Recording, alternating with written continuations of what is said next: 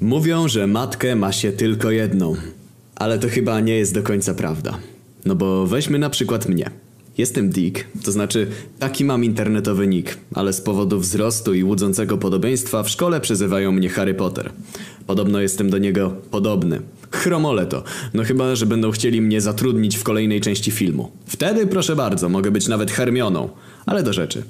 Moja matka, to znaczy ta biologiczna, pojechała do USA i nie wróciła. Podobno poznała jakiegoś dentystę na Florydzie. Z tego powodu musiałem się niezdrowo odżywiać przez ostatnie pół roku. W tym czasie obiady gotował mój stary. Ojciec jest pracownikiem, co podkreśla na każdym kroku, umysłowym w urzędzie skarbowym.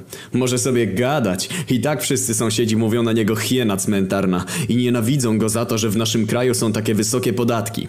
Kurna, jakby to stary był ministrem finansów. Ale do rzeczy. W listopadzie stary zaprosił mnie do pokoju i jąkając się zaczął od tego, żebym się, kurna, nie przejmował tym, że jestem taki niski. Małe jest piękne. Poza tym ile masz lat? Osiemnaście i pół. No to jeszcze urośniesz. Jeszcze urośniesz. I sięga do kieszeni, żeby wyjąć portfel. Myślę kieszonkowe, ale nie. Stary wyjmuje ze środka fotografię i mi ją podaje nad stołem. Patrzę na zdjęcie i w tej samej chwili czuję, że ciśnienie skacze mi do 200 na sekundę. Laska na fotografii ma taki biust, że mogłaby startować w zawodach balonowych. Pamela Anderson to jest przy niej juniorka. Dick, oświadcza stary, to będzie twoja nowa mama. Za dwa tygodnie ślub. Kurna, jeśli, jeśli małe jest taki piękne, to dlaczego za żonę bierze sobie laskę z biustem XXXL? No i co z tym gadaniem, że matkę ma się tylko jedną? Wakacje. Czas dalekich podróży, szalonych przygód, no i kurna egzotycznego seksu z kobietami wszystkich ras. Więc wyjąłem atlas i palcem po mapie zajechałem sobie do Hiszpanii. I oddałem się marzeniom ściętej głowy, że niby jestem w Barcelonie, gdzie poznaję gorąco krwistą Hiszpankę, która do mnie mówi pieszczotliwie Ole, ole. Tak sobie marzę, gdy otwierają się drzwi od pokoju. W progu staje macocha w różowym szlafroczku i na kilometr widać, że jest podniecona jak kotka na rozgrzanym do czerwoności dachu. Dick, zgadnij dokąd jedziemy na wakacje. Kurna, też mi zagadka. Od zawsze telepiemy się naszym Fiatem 126P do ciotki, gdzie można ocipieć z nudów. Jak zwykle, mówię. Do Kalwarii Zebrzydowskiej. Macocha robi tajemniczą minę. Najwyraźniej ma w rękawie jakiegoś asa. Przysiada obok mnie na tapczanie, bierze do ręki atlas i uśmiecha się. Nie trafiłeś, Dick. Daję ci jeszcze jedną szansę. Jeśli nie Kalwaria Zebrzydowska, to co? Stary coś ostatnio mówi o agroturystyce. No nie, kurna, tylko nie to. Nie chcę jechać na wieś i przyglądać się kurom. Na wieś? Pytam. Zimno Dick, mówi macocha i dalej przegląda atlas, który trzyma do góry nogami, ale najwyraźniej to jej nie przeszkadza. Może jakaś podpowiedź? Sugeruje macosze. Macocha odkłada atlas i wykłada się w poprzek wersalki. Jej szlafroczek rozjeżdża się na boki. I moim oczom ukazują się dwa szczyty górskie o rozmiarze XXXXL.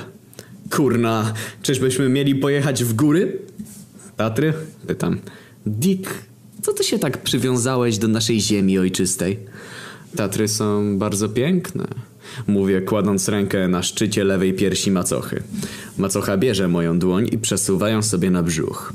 Załóżmy, że udało nam się przejechać na drugą stronę.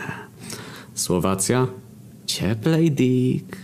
Kurna, myślę, przesuwając powolutku dłoń po ciele macochy. Jakim cudem przedostaliśmy się naszym Fiatem 126P na drugą stronę Tatr? Ale chromolić to. Jedźmy dalej. Jesteśmy w Słowacji. I zbliżamy się do słynnych gorących źródeł w liptowskim Mikulaszu. Moje drżące z emocji palce, niczym pięciu harcerzy na wycieczce górskiej, zanurzają się w gęstym lesie na wzgórku łonowym Macochy. Krok za kroczkiem zbliżamy się do całorocznych gorących źródeł. Dick, Dick, nie tak szybko, to jeszcze nie koniec podróży. Mówi macocha i przesuwa moją dłoń na prawo. W ten sposób zostaje przesunięty na lewą nitkę międzynarodowej trasy E77 i po udzie macochy sunę w dół. Kurna, jakim cudem? Naszym maluchem przekraczamy granicę słowacką i pędzimy dalej niziną węgierską. Mijamy Budapeszt, a więc jedziemy nad Balaton? Dick, słyszę z zapleców mruczenie macochy. Nie przestawaj, gaz do dechy. No i kurna, w ten sposób dojeżdżam do końca lewej nogi macochy. Mijam granicę ze Słowenią. Wjeżdżam na autostradę i prawą nogą macochy sunę w górę. Do Lubliany. Ach, Dick, słyszę pojękiwanie. Ciepło, cieplutko. Więc przyspieszam. W locie mijam granicę z Chorwacją i po udzie macochy docieram na plażę nad Adriatykiem.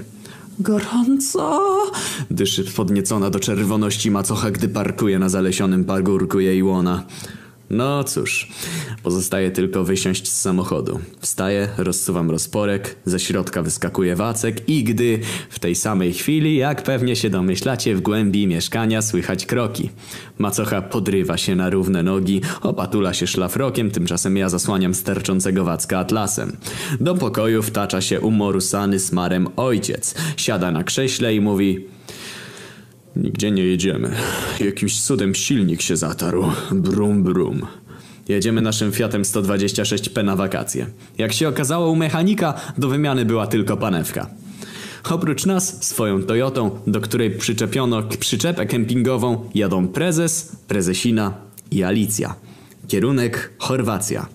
Z przodu za kierownicą siedzi stary. Obok na fotelu pasażera macocha, a ja z bagażami z tyłu ciasno jak w puszce sardynek. A przed nami sunie Toyota z przyczepą kempingową. Kurna, nie ma sprawiedliwości na tym świecie. Jedyne co mnie pociesza to fakt, że mamy dwie poduszki powietrzne. Za dekoltem macochy w rozmiarze XXXXL. Około południa mijamy szyld stojący na poboczu, na którym wielkimi literami napisano Klub Go Go, pół kilometra. Macocha zaczyna wesolutko podśpiewywać pod nosem. Chwilę później wjeżdżamy do słowackiego miasteczka złożonego z czterech ulic na krzyż i zatrzymujemy się całym peletonem przed knajpą o smakowitej nazwie Knedliczki. Okej, okay. pół godzina przerwa w podróży. Każdy może robić to, na co ma ochotę. Prezes świńskim truchtem biegnie w stronę knajpy, gdzie zamawia cztery schabowe. Stary przysiada na krawężniku, wyjmuje plecak z kanapkami, które własnoręcznie przygotował i zaczyna je pacyfikować. Macocha mówi, że musi rozprostować kości i wbiegnie w siną dal. Prezesina rozgląda się dookoła, jej wzrok pada na wystawę sklepu z bielizną. Ogłasza wszem i wobec, że musi sobie kupić nowe stringi. Odchodzi zalotnie kołysząc wąskimi biodrami. Alicja, ciągle niezresetowana, stoi ofiara losu i mamrocze pod nosem swoje wkute na blachę lektury szkolne. Więc przez myśl przelatuje mi genialna myśl. Może by ją zrestować teraz. Ale zagajam konspiracyjnym szeptem. Może wykąpiemy się w rzece. Nie umiem pływać. No to może pójdziemy na lody. Nie lubię lodów. Kurna, Alicja potrafi osłabić człowieka. A na co masz ochotę? Najchętniej poszłabym w siną dal, mówi Alicja i patrzy w kierunku, w którym poszła macocha. No to chodźmy. Swoją drogą też jestem ciekaw, gdzie przepadła macocha. Wchodzimy z Alicją w wąską uliczkę, brniemy pod górę jak dwa małe żuczki, potem w dół i wychodzimy na zastawiony tirami parking. Z prawej strony stoi blaszany barak, na którym wielkimi literami napisano Klub Go Go. No kurna, tego mogłem się spodziewać. Odchodzimy bliżej. Przed wejściem do klubu na ścianie z prawej strony wisi szklana gablotka, w której można sobie obejrzeć zdjęcia tancerek go-go. Na jednym ze zdjęć rozpoznaję moją rodzoną macochę. Stoi w majtkach przy rurce i się uśmiecha. Zdjęcie wygląda na przykurzone, nadżarte zębem czasu, ale kurna, nie da się ukryć, że to ona. Alicja robi się bledziutka. Twoja macocha jest stripteaserką? To już przeszłość. Nawróciła się. Teraz jest przykładną matką i żoną. Poważka. Stary założył jej wędzidła i jest spoko. Poważka. Kurna, sam nie wierzę w to, co gadam. Alicja nic nie mówi, tylko gapi się na zdjęcie macochy. Jej bledziutka twarz różowieje. Dick, w końcu się odzywa. Czy biust twojej macochy jest autentyczny? Na niby jaki? Co to kurna? Moja macocha jest jakimś mutantem z archiwum X? Pewnie, że naturalny. Zawistne oczka Alicji robią się zielone z zazdrości, a jej dłoń mimowolnie przesuwa się po jej własnym biuście. Nie wierzę, to silikon. Kurna, dziewczyno, o czym ty gadasz? W sto procentach naturalne. Ręczę własną głową. Nie uwierzę, dopóki nie zobaczę ich na własne oczy. Mówi Alicja i zanurza się w ciemnym wejściu do klubu GoGo. Idę za nią. Najwyraźniej klub Go Go zaczyna funkcjonować dopiero wieczorem. Teraz to tylko blaszana karczma przy drodze E77. Przy stoliku siedzą kierowcy ciężarówek i wpierniczają hamburgery. Dopiero po dobrej chwili zauważam, że macocha stoi w głębi przy barze i gaworzy sobie z barmanem. Alicja patrzy w tamtym kierunku swoimi zielonymi z zazdrości oczami, a jej dłoń mimowolnie głaszcze piersi o rozmiarze M. Nie wierzę, mówi Alicja i rusza w stronę baru. Biegnę za nią. Kurna, to jest jakaś psychodrama. Alicja ze swoim biustem M zatrzymuje się na wprost macochy z biustem XXXXL. I piskliwym głosem brzydkiego kaczątka rzuca macosze w twarz. Pani biust jest silikonowy? Macocha otwiera szeroko oczy. O czym ty mówisz, dziecko? Pani biust jest nieautentyczny. Słuchaj, Alicjo. Wpadłam tutaj tylko na chwilę, pogadać ze starymi znajomymi, więc bądź tak dobra i nie przerywaj mi tych pięknych chwil. Alicja sinieje. Odwraca się napięcie w stronę kierowców przy stolikach i wykonuje popisowy numer. Ta pani ma nieautentyczny biust! Krzyczy. Kierowcom z wrażenia szczęki opadają na blaty stołów. Tymczasem macocha zaczyna trząść się ze złości. Odwraca się w stronę barmana, coś do niego mówi po słowacku, na co barman uśmiecha się od ucha do ucha, zaciera ręce i załącza światła na estradzie w głębi klubu. Dziecko, mówi macocha do Alicji, która mimowolnie wykonuje ruchy koliste wokół swoich piersi o rozmiarze M. Byłam tu królową nocy. W następnej chwili macocha odrywa się od baru i tanecznym krokiem przedzierając się między oniemiałymi kierowcami przy stolikach idzie w stronę estrady.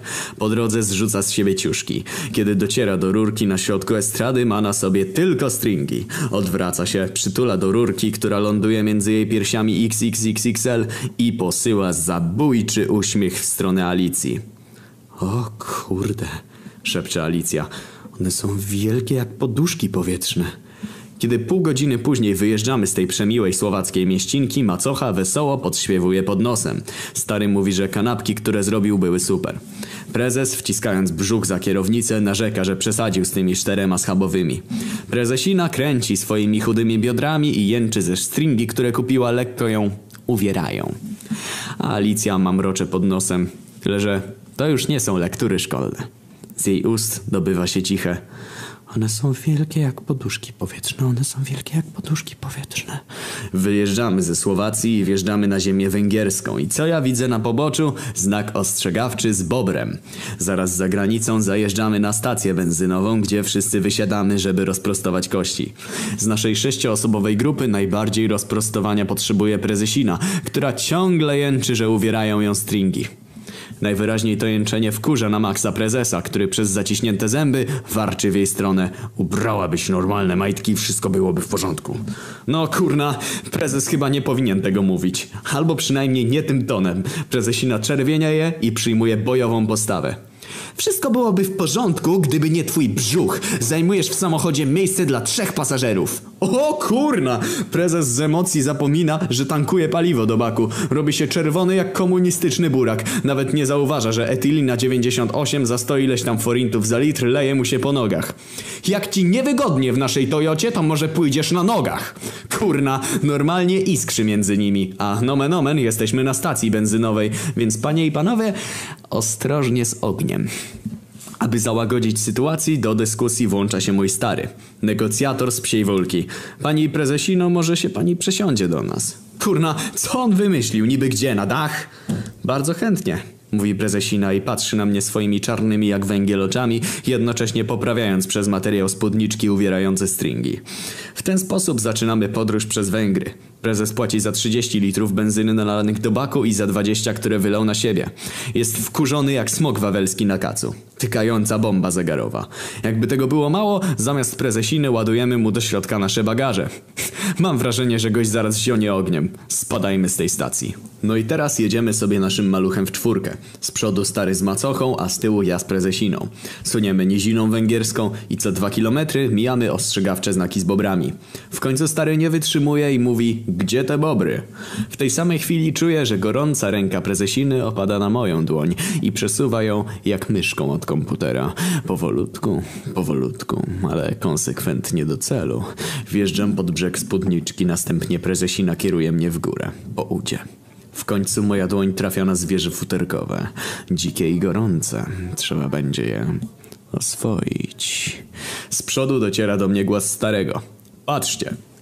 Kątem oka widzę, że mijamy znak drogowy z napisem Bobry 3 km. Tymczasem moja dłoń delikatnie wyswobadza dzikie zwierzę z uwięzi. Przesuwam na bok uwierający paseczek stringów.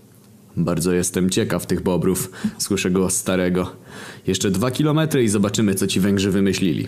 W tym czasie mój palec wskazujący tresuje zwierzątko prezesiny, które robi się mokre jak ruda spocona mysz. Ciekawe, czy bobry są pod ochroną, zastanawia się stary. Nie wiem, czy są pod ochroną, ale na pewno są w dobrych rękach.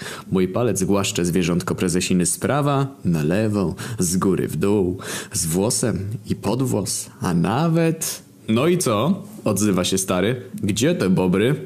Tymczasem prezesina zagryza wargi, jednocześnie zaciska uda na mojej dłoni. To powoduje, że mój palec wsuwa się w głąb gorącego aksamitu i z gardła prezesiny wydobywa się zduszony jęk.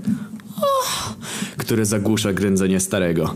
Pojechaliśmy dokładnie 3 km od znaku i co? Nie ma bobrów. Ci Węgrzy to tak samo ściemniają jak u nas SLD. Obiecanki cacanki, a później figa z makiem. Wielkie rozczarowanie. Mówi rozgoryczonym głosem i ze złości dodaje gazu.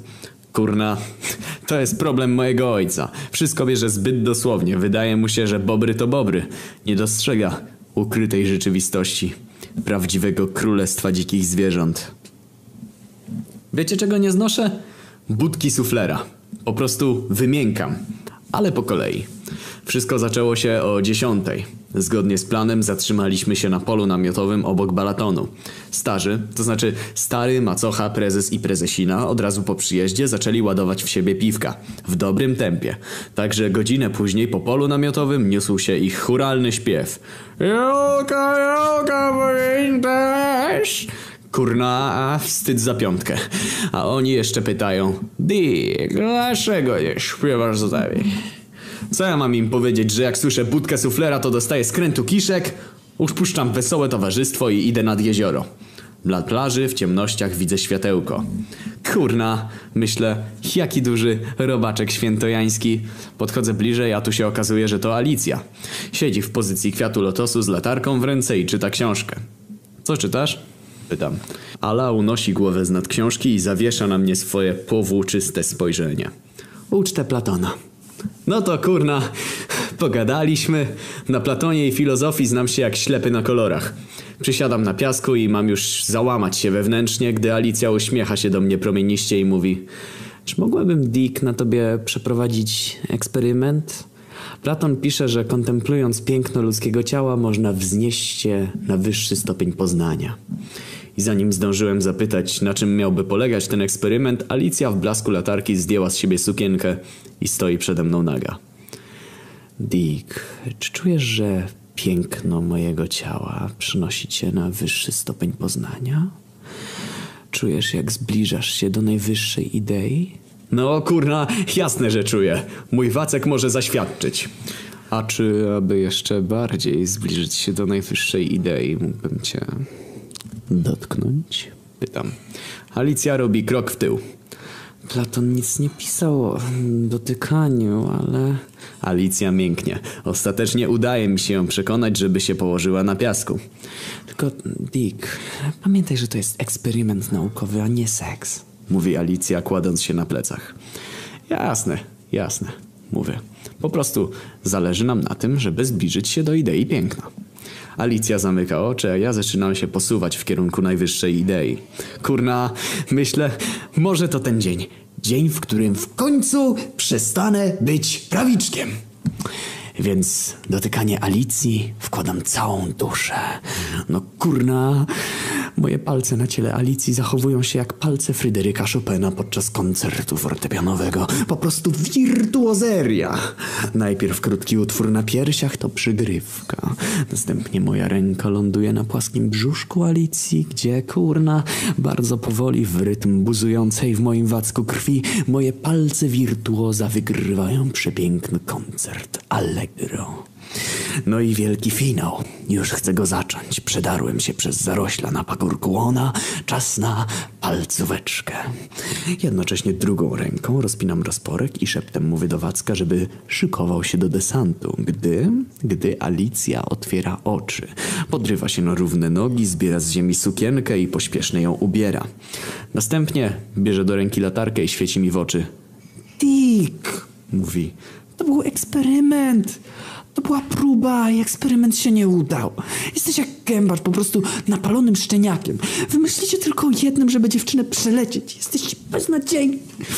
Nie potraficie spojrzeć na piękno kobiecego ciała z odpowiedniej perspektywy.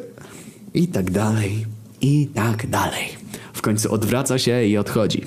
Przez chwilę widzę światło latarki. Potem robi się zupełnie ciemno.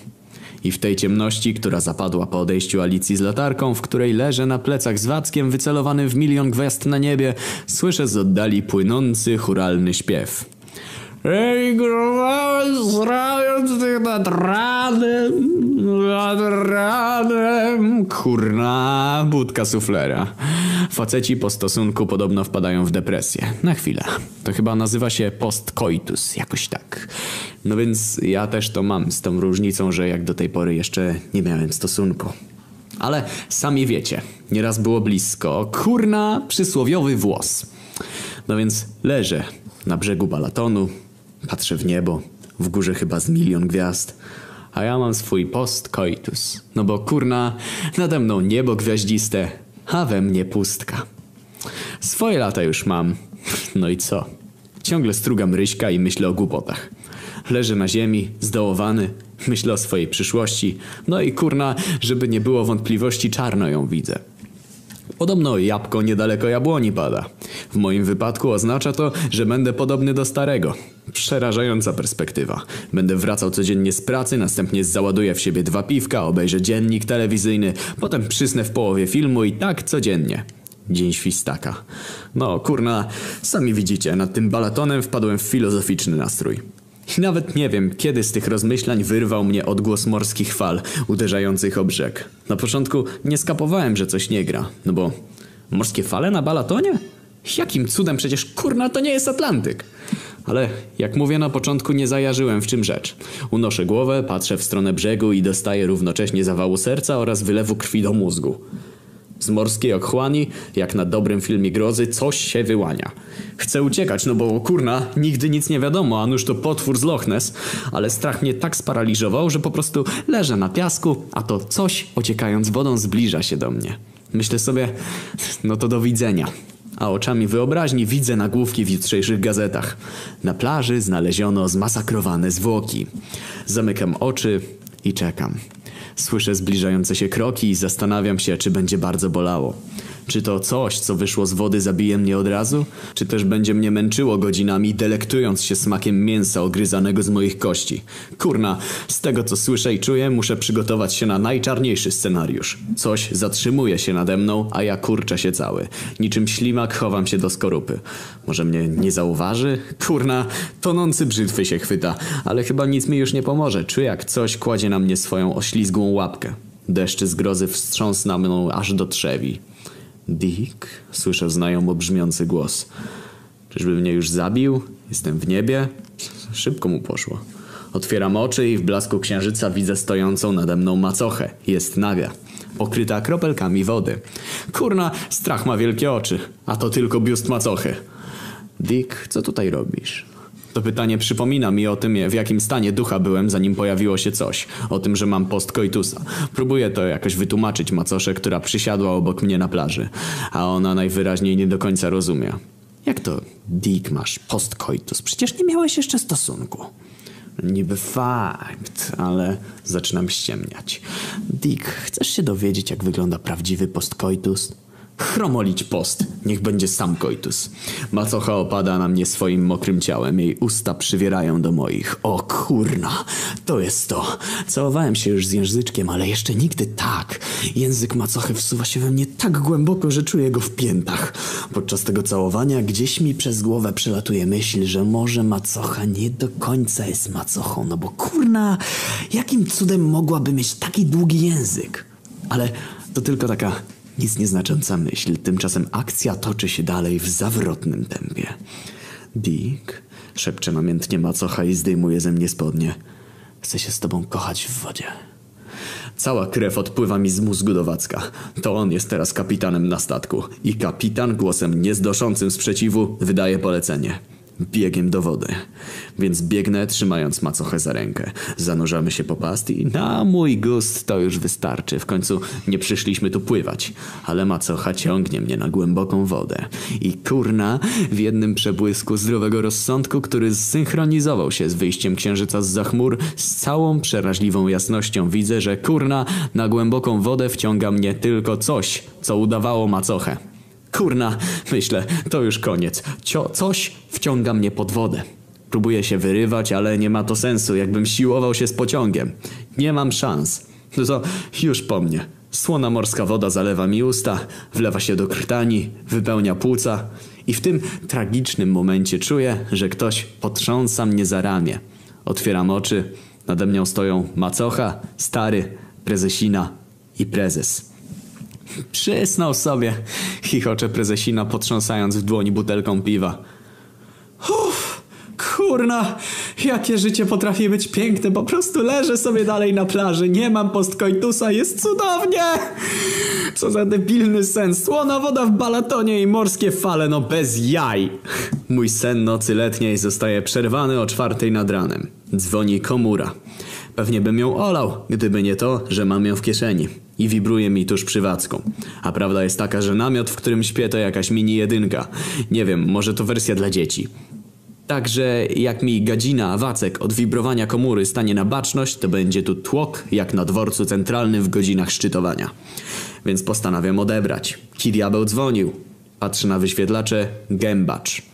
No kurna, gębacz ocipiałeś, jest czwarta nad ranem, jestem na wakacjach, nad balatonem tłuku, w namiocie, sam. Z jaką Alicją to jest jedynka? Ledwo się tu mieścimy z Wackiem, nie możesz spać, no to sobie coś zażyj, nie wiem, może neospasminę. Macocha to łyka. Jak to ci nie pomoże, co? Zakochałeś się w Alicji? Stary, daj sobie siana, co? Masz jej włos łonowy w szkatułce zamknięty na kluczyk, gębacz może idź do lekarza. Jak to do jakiego? Do psychiatry, kurna, niemożliwe. Jedziesz teraz na rowerze? Kurna, co? Podążasz naszym tropem, gębacz pogięło cię, to jest 1500 kilometrów. Jesteś, jesteś już w Słowacji? Gębacz! Gębacz! Urywa się połączenie. Kurna, słyszeliście? Gębacz jedzie naszym śladem. W plecaku ma szkatułkę z drogocennym włosem łonowym Alicji, w której się zakochał na, jak on to powiedział, śmierć i życie. W czarnych kolorach widzę tę historię miłosną. Alicja ma alergiczną wysypkę na wspomnienie gębacza, więc wróżę mu śmierć. Mam już kurna dość wrażeń jak na jeden dzień. Wyłączam komórkę, kładę się na prawym boku i próbuję zasnąć, ale nie mogę. Pod zamkniętymi powiekami, jak na ekranie w kinie, widzę na dnie szkatułki włos słonowy Alicji. Tylko tego brakuje, żeby o tym króciutkim włosku w kolorze blond dowiedział się Wacek. Wacek, błagam, nie! Chcę już spać! I w tym momencie, gdy dramatycznie zmagam się z podnoszącym przyłbicę Wackiem, słyszę, że ktoś się skrada na zewnątrz namiotu. W pierwszej chwili myślę, że to te węgierskie bobry, co to widzieliśmy je na znakach drogowych. Kurna, czyżby chciały mnie zaatakować? Zmyślne bestie. Wybrały sobie najmniejszy namiot. Sięgam po finkę. Nie poddam się bez walki. Ale to nie są bobry. No chyba, że potrafią mówić ludzkim głosem. Dick, śpisz? Słyszę szept dobiegający z drugiej strony namiotu. O kurna!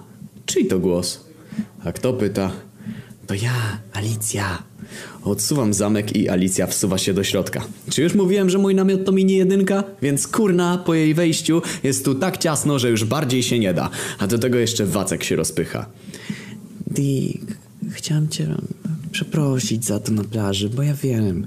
Czytałam o tym książkę, że faceci w twoim wieku muszą tacy być. To jest uwarunkowane hormonalnie. Podobno bardzo się męczycie. No jeszcze jak? To bardzo boli? Pyta Alicja. Ciekawe co za książkę czytała. No nie, że boli, ale kurna, cały czas czuję się jak butelka szampana, którą jakiś wariat wstrząsnął. Z tego powodu jestem 24 godziny na dobę nabuzowany na maksa. O, to straszne, mówi Alicja i jednocześnie czuję, że jej dłoń w ciemnościach spoczęła na moim kolanie. Czy mogłabym ci jakoś pomóc? Z wrażenia mój Wacek wpada w amok. Powiększa się do rozmiarów statuły wolności. Kurna, próbowaliście kiedyś zmieścić statuę wolności w rozporku? No nie da rady. Więc w ciemnościach rozpinam rozporek i wypuszczam wariata na wolność. Dick, mogę ci pomóc? Mogłabym wyjąć korek z tej butelki szampana. No kurna, myślę, Dick, nadeszła ta chwila. Odyseusz dotarł do celu. Jesteśmy w domu. Zaraz przestaniesz być prawiczkiem. Ta elektryzująca wiadomość działa na Wackę jak 10 tabletek wiagry. Ustawia się prostopadle do poziomu ziemi i równolegle do masztu podtrzymującego tropik na namiocie.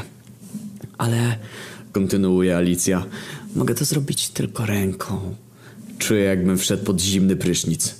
Ręką? A nie moglibyśmy, wiesz, normalnie? Alicja w ciemnościach potrząsa przecząco głową. Dwa miesiące temu zapisałem się do klubu dziewic. Kurwa mać, ale pech. Gdzie, gdzie uroczyście ślubowałem, że dziewictwo stracę dopiero z mężem. Ale, Dick, mogę to zrobić ręką. To chociaż trochę ci ulży. To fakt. Dobra. Nie ma sprawy. Mówię przez ściśnięte gardło. Połóż się na plecach. Instruuje mnie Alicja i zdejmij spodnie. No, nie trzeba mi dwa razy powtarzać. Dwie sekundy później leży zupełnie nagi. Wacek sterczy w górę jak maszt. A moja dłoń, tak na wszelki wypadek, a nuż Alicja się rozmyśli i złamie ślubowanie, zakrada się pod brzeg spódniczki. I krok po kroczu w absolutnych ciemnościach zbliża się do tajemniczego ogrodu. Ale przenieśmy się na główny front, gdzie z góry opada na moją klatkę piersiową ręka Alicji. Kurna, dziewczyno, myślę sobie, gdzie ty ją trzymałaś w lodówce? Palce Alicji są zimne jak kostki lodu. Ich dotyk to traumatyczne przeżycie. Na szczęście po chwili się przyzwyczajam i z niecierpliwością czekam, aż tych pięciu zlodowaciałych eskimosów ruszy w dół. W stronę Wacka. W końcu ruszają. W tym czasie moja dłoń, sunąca udem Alicji, natrafia na przeszkodę. Koronkowy brzeg majteczek. Sprytnym manewrem od razu przedostaje się na drugą stronę i ląduje na mięciutkiej trawce na wzgórku łonowym Alicji. Czy mi się zdawało, czy też członkini klubu dziewic jęknęła w ciemnościach? Idę za ciosem. Ze szczytu wzgórka po zboczu ześlizguje się w wilgotniejącą rozpadlinę. Ja pierniczę. Tutaj jest tak mokro, że można się poślizgnąć i złamać sobie palec wskazujący. Jednak w tym samym momencie z głównego frontu, czyli z mojego ciała, docierają do mnie niepokojące wiadomości. Otóż nagle w ciemnościach na płaskowyżu mojego podbrzusza zaginęło pięciu Eskimosów, którzy podążali do celu. Gdzie oni się podzieli? Właśnie nad tym się zastanawiałem, gdy słyszę namiętny szept Alicji. O kurczę, Dick, ale on jest wielki. Nie przypuszczałem, że penisy są takie duże. Kurna, co się stało? Wygląda na to, że Alicja trzyma w dłoni mojego facka, a ja nic nie czuję. Ja pierniczę, co jest grane? Dick, szepcze Alicja, jak wy nazywacie to, co ja teraz robię? Struganie ryśka? No kurna, jakaś paranoja. W końcu po tych latach samotnej udręki pojawia się Alicja ze swoją lodowatą rączką. Struga mi ryśka, a ja nic nie czuję. Jak to się stało? Może położyłem się na kamieniu, który uciska mi na rdzeń kręgowy. Taki mini paraliż, gdzieś o tym czytałem. Spoko, wystarczy, że się przesunę. Przesuwam się i to samo. Wielkie nic. Tylko w ciemnościach słyszę, jak Alicja ciężko dyszy. Oh, Nick, struganie ryśka to ciężka praca, jestem wykończona. Długo to jeszcze potrwa? Nie wiem, co mam jej powiedzieć, więc mówię byle co. Jeszcze chwilę i już dochodzę. Dick, błagam. Tracę siłę. Kurna, mam już dość tej paranoi. Wyjmuję mokrą dłoń z majtek Alicji, unoszę się na łokciach, sięgam w róg namiotu po pudełko zapałek, zapalam i co ja widzę? Wyczerpana Alicja klęczy przed metalową rurką masztu od namiotu i ruchami posuwisto-zwrotnymi doprowadzają ją do orgazmu. Kurna, kosmiczna pomyłka. I pomyśleć, że ta dziewczyna ma IQ na poziomie 180. Ciekawe, co by robiła, gdyby była ciut mniej inteligentna. W ramach alternatywnych form aktywności seksualnej siedzę z tyłu naszego Fiata i czytam erotyczno-kryminalną powieść pod tytułem Detektyw Hammer. Od tego czytania Wacek zrobił mi się twardy jak lufa pistoletu. Wystarczyłoby delikatnie nacisnąć na spust i wypaliłby pociskiem złożonym z miliona plemników. Właśnie do biura detektywa Hammera wchodzi niewyżyta laska, gdy słyszę głos starego. Podobno Polacy mało czytają, a tu proszę bardzo, wszyscy coś czytamy. Nie no, kurna, ten mój stary jest nie do pobicia. Jednym okiem patrzy na drogę, drugim luka na mapę i myśli, że w ten sposób poprawia narodową statystykę czytelnictwa. Tak samo sprawa czytelnictwa ma się z macochą, która trzyma na kolanach TV Świat i czyta jednym okiem program telewizji na najbliższy tydzień. Ciekawe po co, przecież nie mamy telewizora ze sobą, ale mniejsza z tym, bo tak naprawdę to macocha czyta drym, tym drugim okiem, którym gapi się przez szybę samochodu i wypatruje na poboczu szyldów z napisem Klub Go Go. Więc kurna, nie fałszując statystyk, tylko ja w tym towarzystwie czytam. Na czym to ja przerwałem? Okej, do biura prywatnego detektywa Hammera wchodzi niewyżyta laska, która niby chce go wynająć do brudnej roboty, ale tak naprawdę chodzi o coś innego. Bystrzak Hammer od razu łapie, że do tego zlecenia nie będzie mu potrzebny rewolwer kaliber 45. Zamiast niego wyjmuje z rozporka penis. Niewyżyta laska ląduje na biurku, a lufa penisa wsuwa się w głąb. A oto jak autor kryminału opisuje odczucia detektywa chwilę po przejściu bramy rozkoszy. Tam w środku niewyżyta laska była jak przedmieście Chinatown o zmierzchu. Czułem jakbym z lufą swojego pistoletu wbił się w gorący i stłoczony tłum chińskich nastolatek, które wraz z ruchem posuwistno-zwrotnym mojej lufy wydają z siebie przeciągły jęk. Ale nie był to bierny tłum, który bezwolnie się podaje przywódcy grupy. To był tłum aktywny, poruszający się swobodnie wzdłuż mojego penisa, ruchami konwulsyjnymi, ale łagodnie, niczym jedwabne flagi na wietrze. Ale ta poezja nie trwała zbyt długo. Niewyżyta laska nagle uniosła pośladki nad biurkiem i z impetem nadchodzącego huraganu nabiła się na mój sterczący pal. I w tej pozycji, uwięziony w lochach tej piczki, poczułem, że umięśnione ścianki zaciskają się dookoła mojej lufy jak obręcze i madła. W tym momencie, gdy już mój Wacek zupełnie utożsamił się z penisem detektywa Hammera, na przednim siedzeniu macocha składa swoją gazetę. Następnie patrzy przez okno. Zero szyldów z napisem Klub Go Go. Ziewa. W końcu odwraca się do mnie i jej wzrok ląduje na czubku sterczącej lufy pistoletu w moich spodniach. Ciekawa książka? Pyta perwersyjna żmijka i oblizuje swoje czerwone usta. Ta, Mówię, czując do tego, aby Wacek mi samoczynnie wypalił, wystarczy mała dziura na drodze, w którą wiedzie na świacik. O czym tam piszą? Pyta nagle zainteresowany stary. Ja pierniczę, co to kurna? Nagle się znalazłem w dyskusyjnym klubie książki o... o transplantacji narządów wewnętrznych i zewnętrznych. Zmyta, zmyślam na poczekaniu. Brawo, Dick! Zapala się stary. Czytaj więcej takich książek, a może zostaniesz lekarzem. Tak jest, tato, mówię.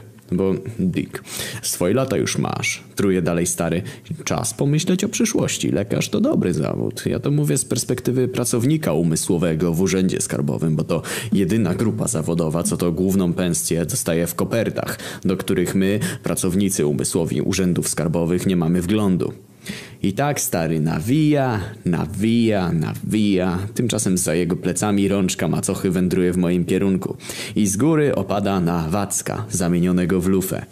Nic nie robi, tylko tak trzyma i uśmiecha się. Och, Dick, szepcze, jaka fajna zakładka. I w tym momencie stary wjeżdża w dziurę na jezdni. Dłoń macochy osuwa się w dół i to, to wystarcza. Pocisk zostaje odpalony. Bum, bum.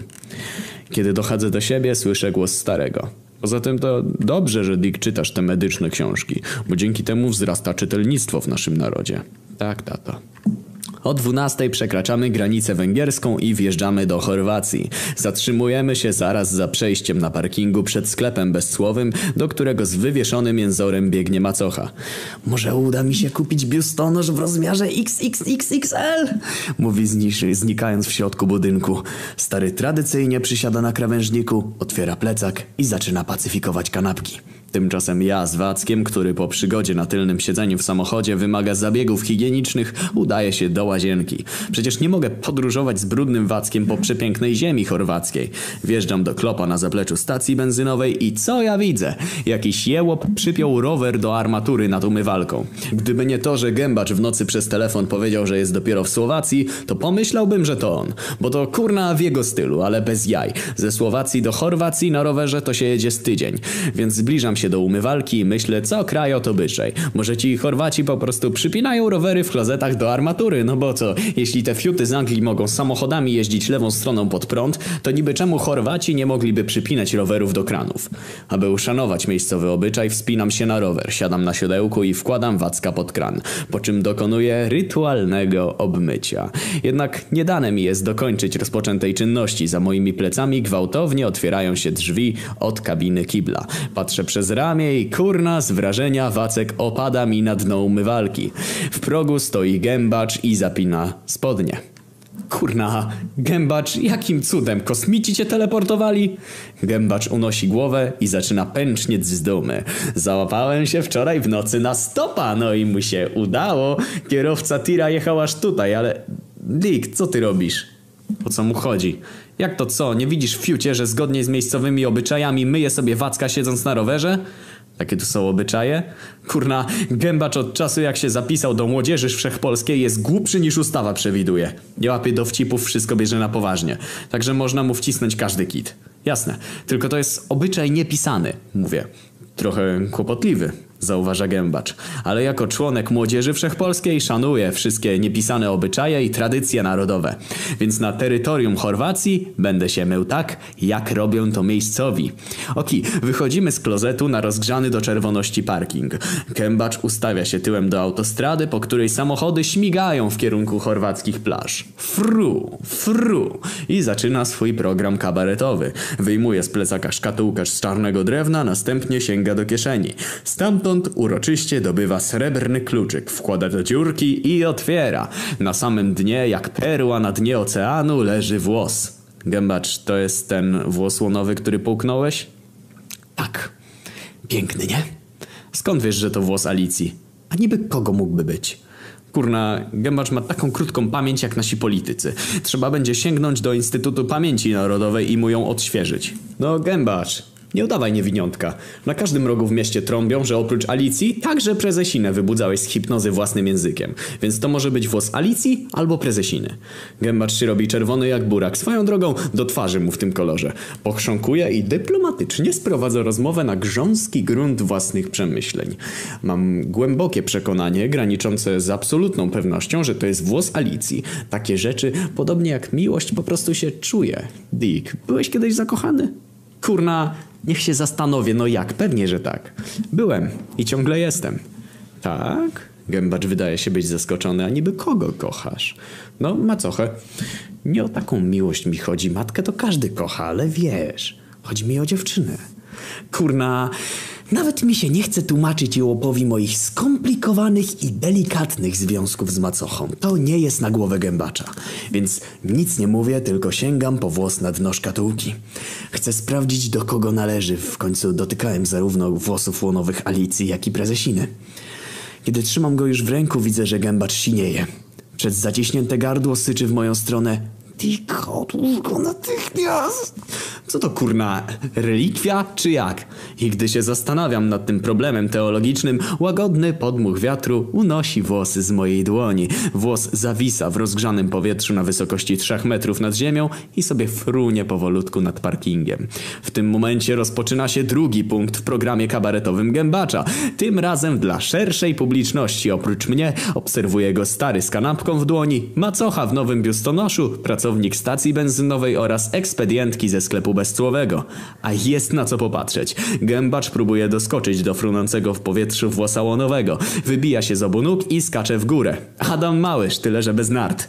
Kurna, nikt oprócz mnie nie kapuje o co biega z tym skakaniem gębacza. Patrzą na niego jak na wariata, a ten jak gigantyczne jojo skacze po całym parkingu. No jaja jak berety. I kiedy już gębacza prawie nie ma, nagle zawiewa prawy boczny wiaterek. Wiecie, taki co to zawsze małyszowi wieje w oczy i sru włosem w kierunku wysuszonych chorwackim słońcem wzgórz. Kurwa, Dichon odfruwa! Krzyczy gębacz i wsiada na rower. I jebudu jedno śladem przez obsiane pszenicą pole za włosem w kierunku wzgórz. Kurna, nawet mu nie zdążyłem powiedzieć, że jakby chciał drugi taki włos, to nie ma sprawy. W każdej chwili mogę mu go załatwić. Przecież u Alicji cały czas mam otwarty kredyt na struganie Ryśka, więc przy okazji mogę mu skołować jednego włosa. Gdzie on pojechał? Pyta oniemiały stary patrząc na gębacza, który na rowerze zapiernicza w dół przez pszenicę chyba że ze 100 na godzinę. Na skróty. Stary gwałtownie wstaje z krawężnika, w jego oku widzę błysk. Czyżby chciał się ścigać z gębaczem? Pakujmy się do wozu i jedziemy. Nie może być tak, że ten szczyl na rowerze szybciej zajedzie nad morze niż my samochodem. Koniec z tymi ciągłymi postojami, zarządza stary. Wsiadamy do naszego bolidu marki Fiat 126P i ruszamy z kopyta. Fru! Na autostradę. Stary wrzuca czwórkę, gaz do dechy, prędkość zapiera nam dech w piersiach, wiatr rozwiewa włosy, na liczniku 105 na godzinę w porywach. Kiedy tak szybujemy z mocnym postanowieniem, że zatrzymamy się dopiero nad Adriatykiem, nagle z lewej mija nas Toyota. To prezes, prezesina i Alicja. Dogonili nas, a nawet przegonili. Ich samochód zjeżdża przed nami na lewy pas i migaczami daje jakieś tajemne znaki.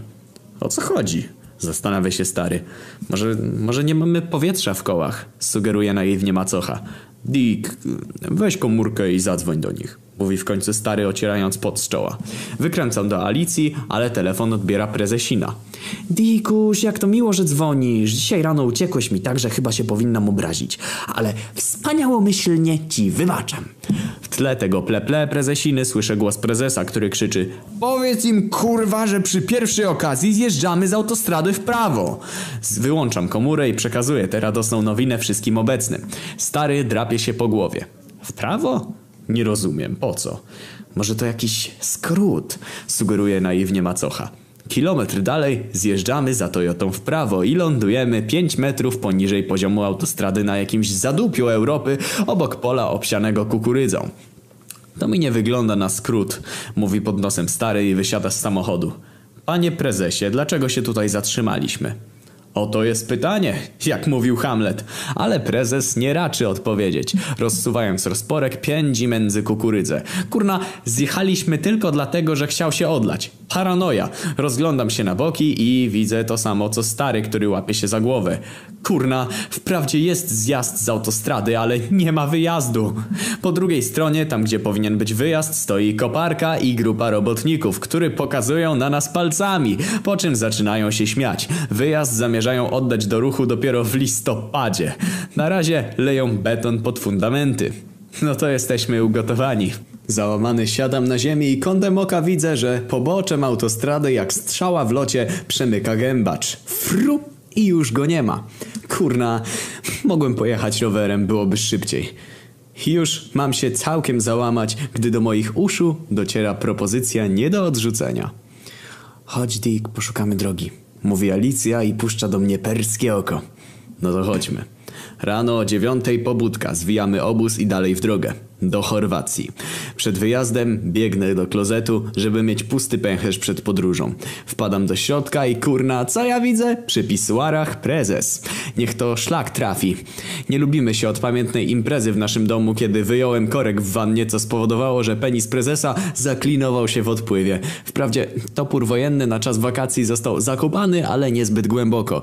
Kurna, niestety na polu namiotowym jest tylko jeden klozet, więc nie ma wyjścia. Staję obok prezesa i wartkim strumieniem oddaję mocz do pisuaru.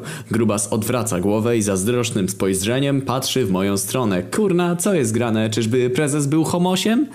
Ja w twoim wieku też tak sikałem. Mówi, raz, dwa i po sprawie, a teraz po kropelce.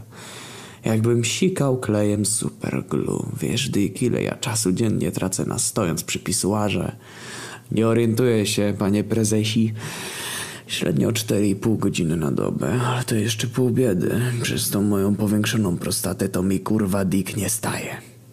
No to już się wyjaśniła sprawa, dlaczego prezesina ciągle chodzi na palona. Dick, dam ci dobrą radę. Korzystaj z życia, póki jesteś młody, bo później powiększy ci się prostata i dupa zbita. Tak jest, panie prezesie, mówię, otrzepując dziarskowacka nad pisuarem. Tylko na jedno musisz uważać, mówi prezes wykapując z siebie kropelkę moczu. Uważaj podczas tego ciupciania, żeby nie zarazić się wirusowym zapaleniem cewki moczowej. Tak jak to miało miejsce w moim przypadku. Jeden skok w bok podczas delegacji. Kurwa, skutki tego po latach są takie, że mam prostatę wielką jak arbuz. No ale kurna, myślę sobie, nawet sympatyczny ten prezes daje młodemu człowiekowi takie praktyczne rady, może niepotrzebnie wtedy wyjąłem ten korek z wanny. Ale zanim domyślałem sobie tą myśl do końca, Grubas otworzył swoją wielką gębę i hipopotama i zerwał cienką nić porozumienia międzypokoleniowego. Jeszcze rzecz najważniejsza, o której powiem na samym końcu, żebyś sobie nie zapomniał podczas tych naszych wakacji. Tutaj prezes na chwilę zamilkł, żeby wydusić ze swojego fiuta kolejną kropelkę. Tak, słucham, panie prezesie. Możesz ciupciać gdzie chcesz i ile chcesz. Możesz posuwać dziurki od klucza i dziury w deskach po sękach. Możesz to robić z zabezpieczeniem albo bez, to twoja sprawa, ale kurwa szczylu. O jednym musisz pamiętać zawsze i wszędzie. Trzymaj się z dala od mojej Alicji i mojej żony, bo jak się dowiem, że coś was łączy, to się za jaja powieszę na słupie telegraficznym. Ja pierniczę. Wybiegam w popłochu z klozetu, ten prezes to świr i do tego impotent. Biegnę do samochodu, po drodze mijam prezesina, która łapie mnie w locie. Hej, Dikuś, skarbie, gdzie tak pędzisz jak stróż pędzi wiatr? Słuchaj, Dick, czy mogłabym tak jak ostatnio pojechać z tobą na tylnym siedzeniu waszego malutkiego, ale jakże przyjemnego samochodziku? Wyrywam się z objęć prezesiny i pędzę dalej polem namiotowym w stronę naszego malutkiego, ale jakże przyjemnego samochodziku marki Fiat 126P.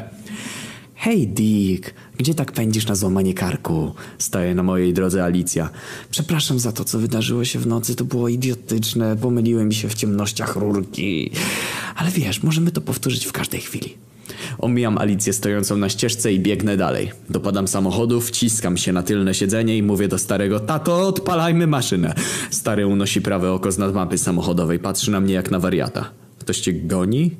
Nie, ale na szczęście w tym momencie do dyskusji włącza się macocha, który stoi przed samochodem i przegląda jedyną lekturę, którą zabrała sobie na całą podróż, czyli gazetę z programem TV. Jedźmy tak jak mówi Dick, bo znowu się do nas przysiądzie prezesina i trzeba będzie przepakować bagaże.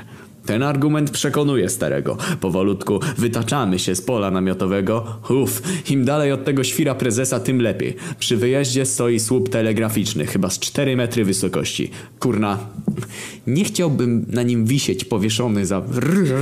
Na samą myśl mój wacek kurczy się do rozmiarów ziarenka piasku. W tym momencie patrząc na słup uroczyście ślubuję, że już nigdy więcej nie dotknę prezesiny ani Alicji Chromole. Po co mi to? Czy nie lepiej uprawiać bezpieczny seks? Bez ryzyka wejścia w bezpośredni kontakt ze zwichrowanym prezesem? Bez groźby zarażenia się przewlekłym wirusowym zapaleniem cewki moczowej, po którym człowiekowi prostata rozrasta się do wielkości arbuza? No kurna! Od tej chwili postanawiam uprawiać podczas wakacji tylko bezpieczny seks z moją kochanką, czyli prawą dłonią. Tylko nie wiem, czy w tym wytrwam. Są różne drogi, ułożone z kostki brukowej, asfaltowe, lokalne, międzynarodowe, ale też są takie drogi, które prowadzą człowieka na manowce.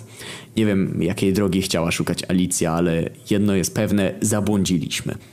Za polem kukurydzy skręciliśmy w prawo, potem poszliśmy w lewo, potem znowu w prawo, no i wiecie gdzie jesteśmy teraz? Na zielonej trawce obok oczka wodnego. A po jego drugiej stronie stoi słup telegraficzny, którego cień przypomina szubienicę. Ktoś powie, no i co z tego? No kurna to, że jeszcze tego samego dnia, rano, ślubowałem, że podczas wakacji nie będę dotykał Alicji. Prezes mnie ostrzegał, że jak ją dotknie, to mnie powiesi za jaja na słupie telegraficznym. A co ja robię? Leżę obok Alicji na trawce, obok oczka wodnego i palcem prawej dłoni sunę jak wagonik kolejki wąskotorowej po jej prawej nodze. Czy to nie jest dotykanie, czy to nie jest łamanie raz złożonego ślubowania? Czy to nie jest kuszenie losu? Jest! No i co z tego? Kto by się tym przejmował? Mój palec za radą Wacka, wbrew wbrew logice sunie jak samobójca po gorącej nodze Alicji, która udaje, że się opala. Od tego opalania jest gorąca jak żelazko. Mojemu zwiadowcy najwyraźniej to nie przeszkadza. Najpierw wsuwa się w cień sukienki, a potem udem, krok za kroczkiem zbliża się do źródła ciepła. Przekracza cienką czerwoną linię brzegu majtek i zanurza się w lesie tropikalnym, gdzie wilgotność powietrza wynosi 100% prawdziwe piekiełko. Ale cóż to dla mojego palca, gdy tajemnica zaginionej arki jest na wyciągnięcie dłoni. Niczym nieustraszony Indiana Jones przedziera się w głąb dżungli. Jeszcze nigdy nie był tak głęboko. Sunie mokradłami i Alicja łapie mnie przez materiał sukienki za nadgarstek. Nick, Musisz uważać. Oki, już przerabiałem ten scenariusz kiedyś z macochą, więc jestem zabezpieczony na każdą okoliczność. Prezerwatywy teraz noszę w każdej kieszeni, do tego w portfelu, w legitymacji szkolnej oraz pod wkładką w lewym adidasie, więc moja droga nagrzana do czerwoności Alicjo bez obawy. Wyjmuję górkę, gumkę z tylnej kieszeni i zakładam na wacka. Dick, Tak? co ty robisz? Zakładam gumkę. Po co? Jak to po co? Przecież mówiłaś, że muszę uważać. Kuptasie. Śmieje się Alicja. Źle mnie zrozumiałeś. Jak to źle? No, musisz uważać z tym paluszkiem w środku, bo pamiętasz, mówiłam ci w nocy. Dwa miesiące temu zapisałam się do klubu dziewic. Nie chciałabym stracić dziewictwa w taki głupi sposób. To znak opatrzności. Myślę sobie zdejmując z wacka ubranie. Opatrzność w ten sposób próbuje mi przypomnieć o ślubowaniu. Odsuwam się od Alicji i wszystko jest na najlepszej drodze do tego, abym się opamiętał. Abym dotrzymał raz złożonego ślubowania i abym nie zginął z rąk prezesa. Ale w tym momencie Alicja, niczym byblijna kusicielka Ewa w raju, zwraca się do mnie z propozycją nie do odrzucenia. Dick, jest tak gorąco. Może wykąpiemy się nago w tym oczku wodnym. I wiecie, co ja niepomny na znaki opatrzności kurna mówię? Super pomysł! No i zrzucamy ciuszki, po czym biegniemy do wody w stroju Adama i Ewy, nie zwracając uwagi na to, że cień słupa telegraficznego najwyraźniej ma kształt szubienicy. Wow, fajnie jest się kąpać z nagą laską w takim moczku wodnym pod tym zajebiście gorącym chorwackim słońcem. Och, Dick, Szepcze Alicja przytulając się do mnie w wodzie. szkoda, że nie jesteś moim mężem, bo bym ci się oddała. Moja dłoń pod powierzchnią wody opada na pośladki Alicji, a mój głos niczym wąż na drzewie dobrego i złego kusi ją. Może złamiesz to swoje ślubowanie? Och, Dick, ja nigdy nie łamię uroczyście złożonych ślubów.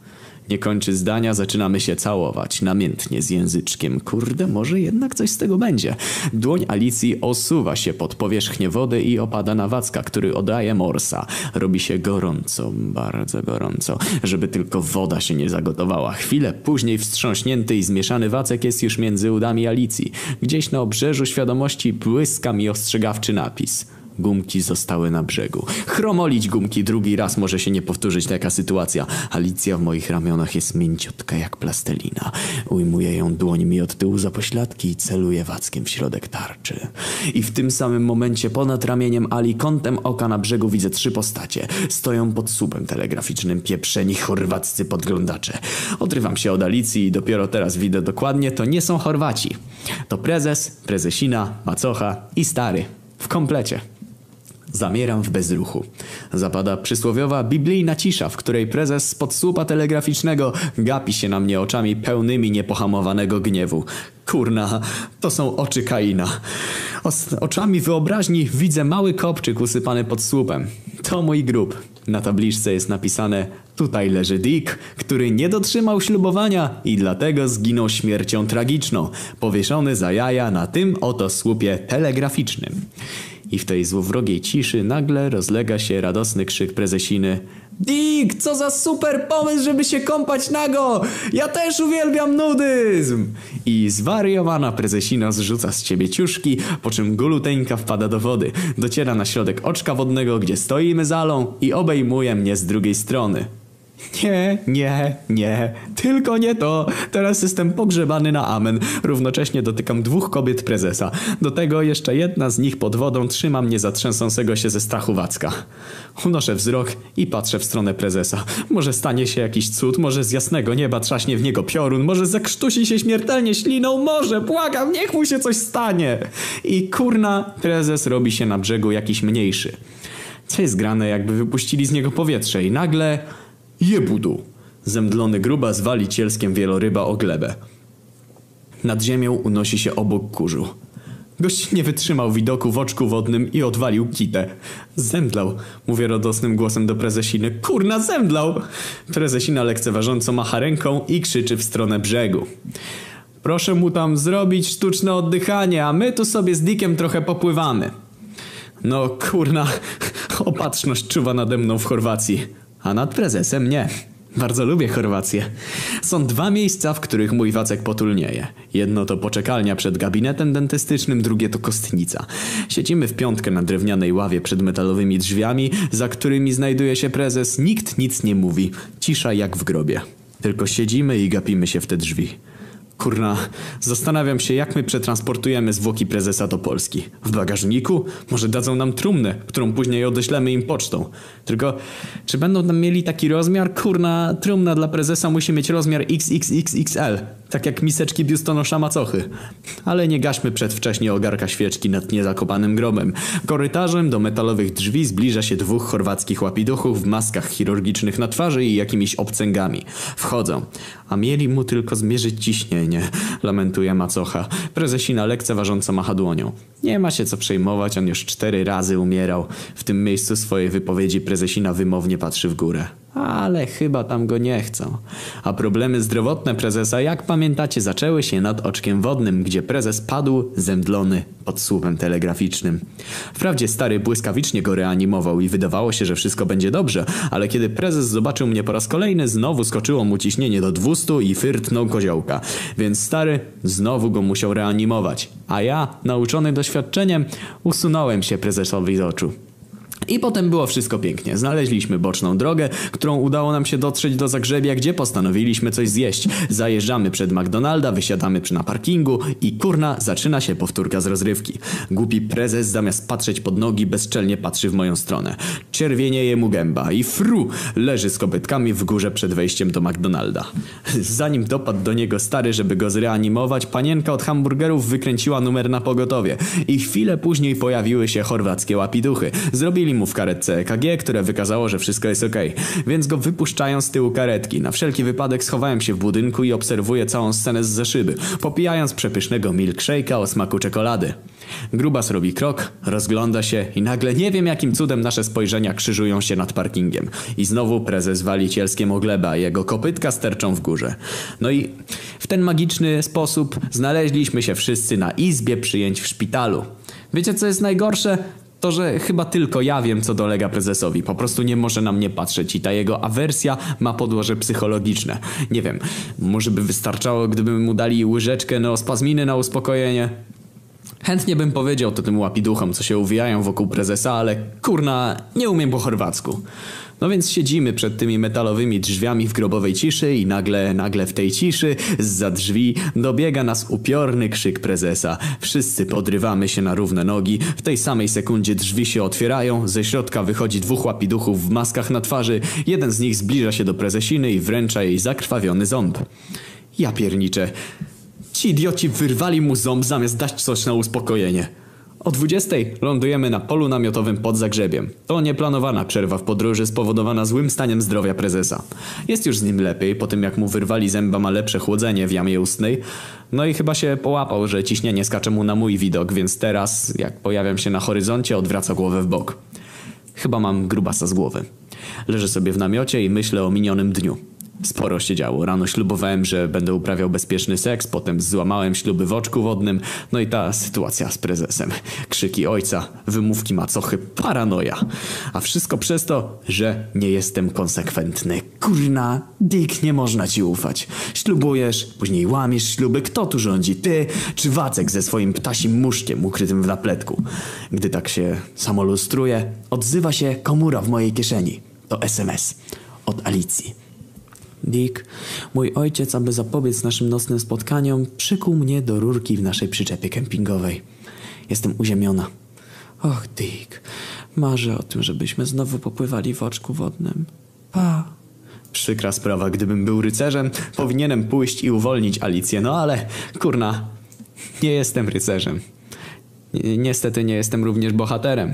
My nick is Dick, a nie my name is James Bond, więc odkładam komórę i wracam do przerwanego wątku moich nocnych przemyśleń. Ale nie jest mi pisane, by w nich się zagłębić, bo znowu dostaję SMS-a, tym razem od prezesiny. Dick, tragiczna wiadomość. Prezes założył mi pas cnoty, w związku z tym nie pojawię się dzisiejszej w nocy w twoim namiocie, jak to sekretnie planowałam. Pa, rozkoszniaczku. Świetnie się z tobą pływało w oczku wodnym. Odkładam komórkę i czuję, że jakoś mi się smutno zrobiło. Kurna. Dick, skąd ten smutek? Czyżbyś wbrew logice i ślubowaniu liczył na nocny seks z prezesiną albo Alicją? A może to jest smutny wacek, a nie ty, Dick? Gdy tak myślę o tym wszystkim, do moich uszu dociera jakieś szuranie przy wejściu do namiotu. Co jest kurna? Czyżby węgierskie bobry bez paszportów przekraczyły granicę z Chorwacją? Dick, szybcze, e, słyszę szept z zewnątrz. Wpuść mnie. A kim jesteś? Pytam również szeptem. To ja, macocha. A, to proszę bardzo. Jak już wspomniałem, mieszkam w mini jedynce, to jakiś pieprzony namiocik dla dzieci do zabawy w Indian. Więc kiedy macocha wtarabaniła się do niego ze swoim biustem XXXXL, jest tu jak w samochodzie, w którym otwarły się poduszki powietrzne po teście zderzeniowym. Ledwo zipie. Ze wszystkich stron otacza mnie mięciutkie ciało skropione wodą kwiatową czarnocy. Wiecie czego kurna człowiekowi w takiej sytuacji najbardziej brak? Już słyszę, że wszyscy erotomani szepczą zdanie seksu z macochą. Guzik prawda, tlenu. Ale kurna, kogo to obchodzi? Macocha zajmuje bojową pozycję i rozpoczyna wymówki. Dick, pofatygowałem się tutaj do ciebie, bo jest mi bardzo smutno. Czyżby stary umarł? Kurna, jeśli w ciągu najbliższych 30 sekund nie uda mi się zaczerpnąć tchu, to pójdę jego śladem. I wtedy macocha będzie miała podwójny powód do smutku. Bardzo mnie martwi to, że swoje młode siły trwonisz na te dwie chude suki. Czy ty wiesz, Dick, że moje serce zostało dzisiaj złamane, kiedy zobaczyłam cię nagiego z tą stukniętą Alicją w oczku wodnym? Nie masz litości dla swojej macochy, którą nomen omen prowadzisz miłosną grę od chwili, kiedy hajtnęłam się z twoim ojcem? Ile człowiek może przeżyć bez tlenu, bez jedzenia, podobno miesiąc, bez wody tydzień, ale kurna, bez tlenu to ja się tu wykończę w 5 minut. Dick, czy ja ci już nie podniecam? No powiedz. Chętnie bym powiedział, ale się duszę. A nie jestem tak wszechstronny, żeby wykonywać te dwie czynności równocześnie, więc tylko cichutko harczę. Co? Nawet nie chcesz ze mną mówić? Dobrze, dobrze. Sama sprawdzę. Mój niedotleniony mózg resztkami sił rejestruje ruchy obcych wojsk w rejonie mojego rozporka. Macocha rozsuwa zamek w moich spodniach i wyjmuje ze środka zemdlonego wacka. No tak. Komenczuje płaciwym, płaczliwym głosem macocha. Już cię nie podniecę. Nie, nic nie musisz mówić, wszystko jasne. Ależ, mamo, chciałbym powiedzieć, to nieprawda. Kiepski wygląd Wacka w chwili obecnej jest jedynie wynikiem śmiertelnych procesów chemicznych zachodzących w moim organizmie. W żadnym wypadku nie jest to wyraz mojej seksualnej niechęci. Chciałbym krzyknąć, macocho, jestem forever for you. Chciałbym wyznać I love you, ale nie mam siły, umieram. To mój ostatni post na blogu Epitafium. Już nigdy nic nie napiszę. Ale swoją drogą to piękna śmierć. Umieram zaduszony biustem XXXXL, o który przecież cały czas marzyłem. I w tej tragicznej chwili nawet człowiek nie może sobie spokojnie umrzeć. Z drugiej strony namiotu słyszę starego. Dick? Macocha pod wpływem głosu z zewnątrz kurczy się ze strachu, dzięki temu do moich płuc dociera malutki hałścik drogocennego powietrza. Dick, śpisz? Obudź się. I w tej samej chwili słyszę szept macochy. Musisz do niego wyjść, bo jak zobaczy, że tu jestem, zabije nas obydwoje. To fakt. Śmierć na człowieka czyha na każdym rogu. Po prostu wieczna wojna. Nie zastanawiając się wiele resztkami sił, wyczołguję się z namiotu. Po wyjściu nawet nie mam siły, żeby podnieść się z czworaka. Kurna, człowiek na co dzień nie zdaje sobie sprawy z tego, jak mu jest potrzebny tlen. Szerokimi ustami łapie powietrze jak ryba wyrzucona na brzeg. Co ci jest? pyta stary. Nic, po prostu zapomniałem sobie poddychać przez snem i teraz się wentyluję. Dick, nie czas na głupoty, zbieraj się, jedziemy. Co się stało? Macocha przepadła. Teraz będzie sprawdzać wszystkie kluby go-go w mieście. Kurna, co za noc. A mogłem ją przykuć do rurki w namiocie, mówi stary odchodząc w stronę samochodu. Byłby święty spokój. Są różne misje. Niemożliwe, proste jak drut i porąbane na maksa. Nasza misja należy do tej trzeciej kategorii, no bo kurna, niby jak możemy znaleźć macochę w klubach go-go, skoro została w moim namiocie? Bez sensu, tylko że nie mogę o tym powiedzieć staremu. Więc jedziemy w noc ciemną. Światło naszego malucha kroją gorące chorwackie powietrze. Z radia leci jakieś miejscowe disco polo i w tym klimacie, jak z kiepskiego melodramatu, stary puszcza farbę. Zaczyna się zwierzać. Dick, kiedyś zadałeś mi pytanie, gdzie spotkałem macochę. Nie odpowiedziałem ci, bo było mi wstyd. A prawda jest taka, że poznałem ją podczas grupowej psychoterapii. O kurna! Więc nie tylko prezes jest zwichrowany, jeszcze stary i macocha. No po prostu lot nad kukułczym gniazdem 2. Po tym jak rozstałem się z twoją biologiczną matką, musiałem skorzystać z porady psychiatry. W podobnej sytuacji była macocha. Właśnie rozpadł się jej długoletni związek małżeński z jokejem. Widzisz, Dick, w życiu każdego człowieka są takie chwile, kiedy za wszelką cenę próbuje się uciec od rzeczywistości. W moim wypadku, żeby zapomnieć o nieudanym związku i zredukować stres, musiałem zaglądać do kieliszka. Tymczasem macocha ze stresem radziła sobie tak, że całymi nocami aż do utraty tchu tańczyła w klubach go-go przy rurce. A ty, Dick, jak sobie radzisz ze stresem? No tradycyjnie, strugam ryśka aż do utraty tchu. Ale kurna, niby co to obchodzi starego? Każdy sobie redukuje stres jak umie, więc tylko mówię. No stres dobrze mi robi rzucie miętowej gumy. To bardzo dobry sposób, tylko żuj bez cukru, bo sobie zęby popsujesz. Racja, tato. Przerzucę się na sugar free. I chwilowo zadowolony, jak stary kiwa z aprobatą głową, po czym kończy swoje zwierzenia z macochą. Jest tak, że jak jest w stresie, to zamiast rzucić gumy, chce się jej tańczyć przy rurce i myślę sobie, że ta podróż tyle kilometrów tak ją zestresowała, że gdzieś poszła sobie zatańczyć. Patrzę na starego i myślę, kurna, że ta historyjka, którą mi opowiedział, nawet by się trzymała kupy, gdyby nie to, że macocha została w namiocie. Tato, odzywam się, myślę, że macocha została na polu namiotowym. Tak myślisz? Pewnie poszła na spacer. W środku nocy oszalałeś albo do toalety. Rzeczywiście, w damskiej toalecie nie sprawdzałem. Myślę, że macocha jest już w namiocie i zastanawia się, gdzie jesteś. O Boże, gotowa się zestresować, mówi stary i naciska stopą na hamulec. Pisk opon, gwałtowny skręt na środku ulicy, klaksony wkurwionych Chorwatów w samochodach za nami i wracamy z powrotem na pole namiotowe.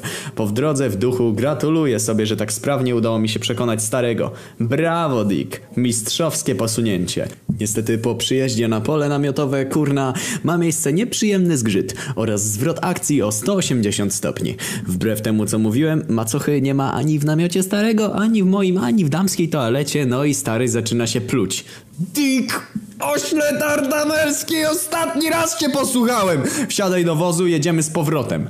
I znowu jedziemy w noc ciemną. Światła naszego malucha kroją gorące chorwackie powietrze. Z radia leci jakieś miejscowe disco polo i w tym klimacie, jak z kiepskiego melodramatu, brakuje tylko tego, aby się zwierzał stary. Ale on milczy jak grób. Tylko nerwowo zaciska dłonie na kierownicy. Na kilometr widać, że nie radzi sobie ze stresem. W przeciwieństwie do macochy, zajeżdżamy przed klub GoGo, który odnajdujemy tuż za rogatkami Zagrzebia. Wchodzimy do środka blaszanej budy, a tam przed estradą z rurką tłum kierowców tirów klaszcze w dłonie. W rytm tego klaskania zupełnie naga macocha wykonuje taniec brzucha. Trzeba przyznać, że macocha ze stresem radzi sobie profesjonalnie, no i widowiskowo. Aż same ręce składają się do klaskania, ale stary swoim zwyczajem psuje zabawę. Ściąga macochę ze strady i każe jej się ubrać. Kierowcy przestają klaskać, zapada nieprzyjemna cisza. Na szczęście, zanim kierowcy tirów ustalili w jaki sposób zlinczować starego, udaje nam się opuścić klub GoGo.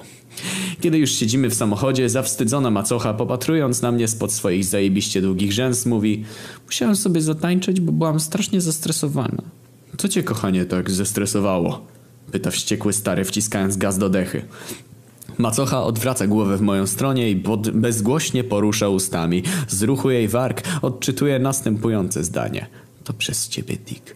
Przez te dwie chude suki w oczku wodnym. A stary na głos przekazuje oficjalny komunikat prasowy. Ta długa podróż mnie wyczerpała. A do mnie puszcza perskie oko i bezgłośnie poruszając wargami przekazuje tajny komunikat. Dick, czekaj na mnie w namiocie. Przyjdę do ciebie, jak tylko ojciec zaśnie i zatańczę przy twojej rurce. Kurna, sami widzicie, wychowuję się w rodzinie patologicznej, w której wszyscy marzą o tym, aby sobie zredukować stres. Wracamy na pole namiotowe, biegnę do namiotu i próbuję przed przybyciem macochy zrobić w nim trochę więcej miejsca. Wywalam materac na zewnątrz oraz wszystkie bety. No, nie powiem, żeby zrobiło się dużo więcej miejsca, ale zawsze coś. Wchodzę do środka, rozbieram się, kładę się na prezencie i czekam, aż zaśnie stary. I pojawi się macocha, aby zredukować sobie stres. Właśnie sobie wyobrażamy razem z Wackiem, jak to będziemy współuczestniczyć w tej grupowej psychoterapii, gdy przychodzi SMS. Biorę komórkę na wyświetlaczu macocha. Najsłodszy pasierbie, pisze. Niestety nie mogę przyjść. Twój ojciec przykuł mnie do rurki w namiocie.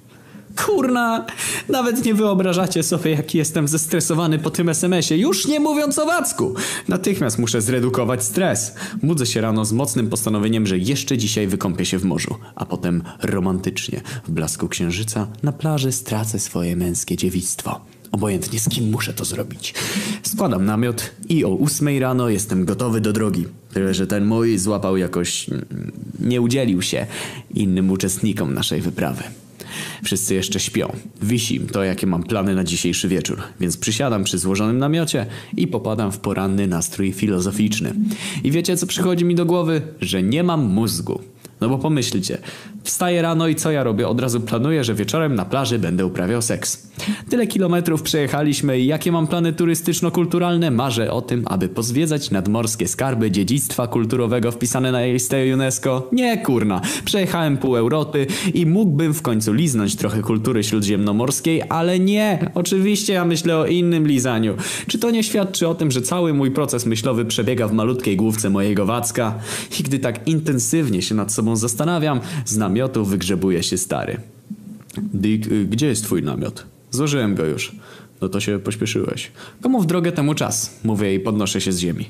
Rozłóż go z powrotem. Niby czemu? Zostajemy tu jeszcze jeden dzień. Macocha źle się czuje. Co jej jest? Ma swoje ciężkie dni. O nie. Tylko nie to. W otworze namiotu obok starego pojawia się macocha. W oczach ma iskry. Czy całe pole namiotowe musi wiedzieć, że mam okres? Wrzeszczy macocha. A może ktoś jeszcze nie słyszał? Mam okres i to mi się zdarza co miesiąc, bo jestem kobietą. Ale to jeszcze nie powód, żebyśmy musieli tu tkwić na tym zadupiu wszechświata z tymi dwoma chudymi sukami. Prezesa na jednym polu namiotowym. Zbierajmy się, póki śpią. Tak jest, kochanie, mówi stary, kładąc uszy po sobie. No i jedziemy. Kierunek Karlowacz. Siedzimy w naszym malutkim samochodziku marki Fiat 126P i jesteśmy narażeni na menstruacyjne erupcje złego humoru macochy. Faceci to fiuty, mówi macocha patrząc znacząco na starego, a potem na mnie. Myślicie tylko o jednym. Czy ktoś z was zwrócił uwagę na moje bogate życie wewnętrzne? Kurna! To macocha ma życie wewnętrzne? No właśnie. Nawet wam do głowy nie przyszło, że mam coś takiego. Jesteście jak wszyscy faceci, którzy widzą we mnie tylko cycki. Jedyne co ich zastanawia to to, czy są naturalne, czy z silikonu. I gdy tak sobie siedzimy w tej wybuchowej atmosferze, wyprzedza nas Toyota. Prezes za kierownicą gapi się prosto przed siebie. Prezesina radośnie do nas macha, a Alicja z wypiekami na twarzy coś tam robi na tylnym siedzeniu. I wiecie, co się dzieje w chwili, gdy widzę dłubiącą między nogami Alicję? Mój Wacek zaczyna za mnie myśleć. W małej główce Wacka powstaje absurdalny scenariusz, który w mojej chorej wyobraźni zamienia się w krótkometrażowy film pornograficzny. Oto jego fabuła. Akcja filmu zaczyna się na polu namiotowym, gdzie Alicja wsiada do Toyoty. Jej krągłe pośladki lądują na tylnej kanapie. Samochód rusza, Alicja wyjmuje książkę o detektywie Hamerze, którą dzień wcześniej pożyczyła ode mnie, rozpoczyna lekturę i już od pierwszych stron czuje, że mrówki wędrują po jej majtkach. A to za sprawą erotycznej przygody, którą przeżywa detektyw Hammer w mieścinie na południu Europy. Mieścina się nazywa Banja Luka i Hammer trafił do niej za sprawą niewyżytej laski, która podstępnie zwabiła go na piąte piętro w obskurnym hoteliku o nazwie Jęczące Łóżko. Cóż za spotkanie, mówi Hammer rozpinając pasek u spodni. Mam dla ciebie drobną robótkę, którą wykonasz na jęczącym łóżku. Szepcze niewyżyta laska i zdejmuje pas od pończoch. Do usług, mówi Hammer, obnażając przed niewyżytą laską najdłuższy penis świata. I w tym momencie lektury Alicja czuje, że mrówki w jej majtkach oszalały. Aby je uspokoić, wkłada dłonie między nogi i rumieniąc się z emocji doprowadza palcem wskazujący swoją nieznośną dziewiczą cipkę do samotnego orgazmu. Kiedy szczytuje, Toyota wyprzedza naszego Fiata. Proszę bardzo, oto przykład produkcji umysłowej mojego Wacka. Żenada! A oto co się rzeczywiście wydarzyło. Alicja na tylnym siedzeniu w chwili, gdy Toyota nas wyprzedzała, kończyła wystukiwać na kolanach SMS-a. Następnie prezes dodał gazu i tyle ich widzieliśmy. Jakieś 30 sekund później w kieszeni odezwała mi się komura. Na wyświetlaczu Alicja. A oto treść SMS-a. Faceci to fiuty. Żadnego z nich pożytku. Tylko jedno ich interesuje. Czy ty, Dick, zwróciłeś uwagę na bogactwo mojego życia wewnętrznego? Nie. Jedyne na co cię było stać to to, że włożyłeś mi rękę do majtek. Tak jak wszyscy faceci. Myślisz penisem, a nie głową. Alicja. Po przeczytaniu z wrażenia szczęka opadła mi na kolana. Kurna, ta Alicja ma zdolności telepatyczne. Czyta w moich myślach. I gdy tak się zastanawiam nad tym fenomenem, dostaję drugiego SMS-a. Tym razem od prezesiny. Dikuś, nie przejmuj się tym, co pisze Alicja. Biedaczka ma okres i zachowuje się jak Ofelia, niespełna rozumu. Jeśli o mnie chodzi, to ja was, chłopaki, kocham, takimi jacy jesteście. No i okres będę miała dopiero za dwa tygodnie, więc do zobaczenia wieczorem na plaży. No to do wieczora na plaży. Bezgłośnie odpowiada Wacek i ustawia się w pozycji startującego samolotu. Szum morza, krzyk mew, oświetlone statki na horyzoncie i milion gwiazd na niebie. No kurna, tak wygląda Chorwacja nocą. O szóstej dotarliśmy 5 kilometrów na południe od Rijeki. Rozbiliśmy namioty w ogródku przed chałupką jednookiego Chorwata o imieniu Marko, a teraz siedzę w ciemnościach na plaży i mam prezesiny na wyciągnięcie ręki. Dick? Tak? Jesteś w piątej klasie technikum mechanicznego? Kurna, jakie to ma znaczenie? Przecież mój Wacek i tak jest analfabetą, a to on jest bohaterem wieczoru. To on dzisiaj zdradzi swoją kochankę, prawą dłoń, z prawdziwą kobietą. Więc po co te pytania o wykształcenie? Ale jak to przeczytałem w poradniku Sztuka Miłości przez duże M, kobiety przed stosunkiem potrzebują rozmowy. Dzięki temu czują się docenione, więc proszę bardzo, nie ma sprawy. Zanim rzucę się z dzidą na prezesinę, odpowiem na wszystkie jej pytania. W piątej, ale w technikum elektrycznym, a nie mechanicznym. W ciemnościach słyszę cichy jęk zawodu. Kurna, ciekawe czemu, co to jej marzeniem jest, żeby ją przeleciał ślusarz? A macie jakieś praktyki w warsztatach mechanicznych? No bez jaj. Chodzę do klasy o profilu elektroniczno-informatycznym. W układach scalonych i procesorach nie dłubię się pilnikami i śrubokrętami. Nie. Praktyki mamy w firmie komputerowej. I znowu w ciemnościach słyszę jęk zawodu prezesiny. Kurna, nie ma się co dziwić, że faceci wbrew instrukcjom z uczonych poradników miłosnych zamiast prowadzić rozmowy przed stosunkiem od razu rzucają się na ofiarę i piłują je w milczeniu. W tym szaleństwie jest jakaś metoda. A na zamkach elektronicznych się znasz? Na elektrycznych i elektronicznych tak. W ciemności słyszę westchnienie ulgi. Jednocześnie czuję, jak dłoń prezesiny opada na mój rozporek. Okej, koniec gadania. Przechodzimy do głównego programu wieczoru. Aby się odwdzięczyć, moją rękę kładę na piersiach prezesiny. Niestety w porównaniu z macochą mamy tu do czynienia z karłowatym ukształtowaniem terenu. Dwa małe wzgórki. Kurna. W sumie to... Chyba nawet ja mam większy biust niż prezesina. Ale chromolić to! Po co Wackowi biust wielki jak Himalaje? Co to on jest? Alpinistą? Wręcz przeciwnie. Wackowi do szczęścia potrzebne są zagłębienia w terenie, a nie wzniesienia. Na przykład jaskinia raj, do której będzie mógł się spuścić o linię, spenetrować dno, zbadać stalagmity i stalaktyty, więc chromolić biust. W związku z tymi przemyśleniami postanawiam przesunąć dłoni na jej brzuch. W tym czasie prezesina włamała się od moich bokserek i ujęła Wacka w dłoń. Farciarz wyprężył się jak Adam Małysz w chwili, gdy wybija się z progu skoczni. Oj, Wacek, żebyś tylko nie przeskoczył punktu K. Tym bardziej, że prezesina dopiero rozpoczyna swój repertuar erotycznych gier wstępnych. Unosi się na łokciach i przechodzi do miłosnych technik z rozdziału dziewiątego mojego poradnika Miłość przez duże M, czyli do seksu oralnego. W ciemnościach czuję oddech na brzuchu, napięcie rośnie, gorący podmuch niczym tornado na środku pustyni zbliża się do Wacka.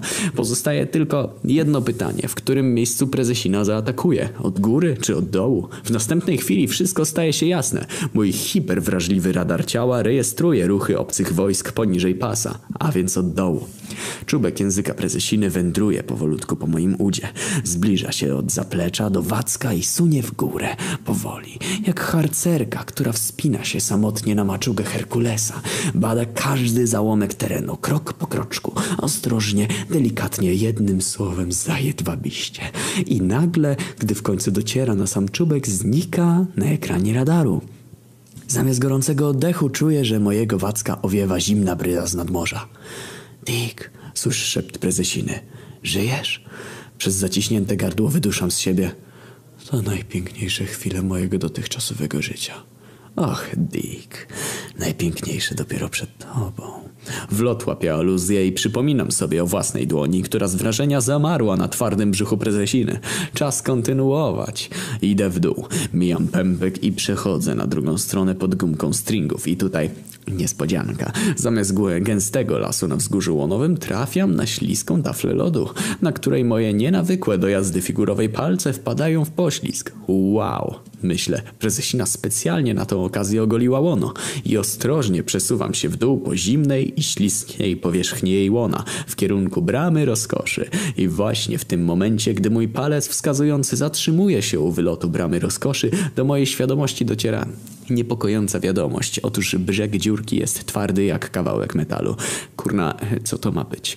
Sunę palcem dokoła i moje zdumienie rośnie coraz bardziej. Dziurka prezesiny ma ewidentnie kształt dziurki od klucza.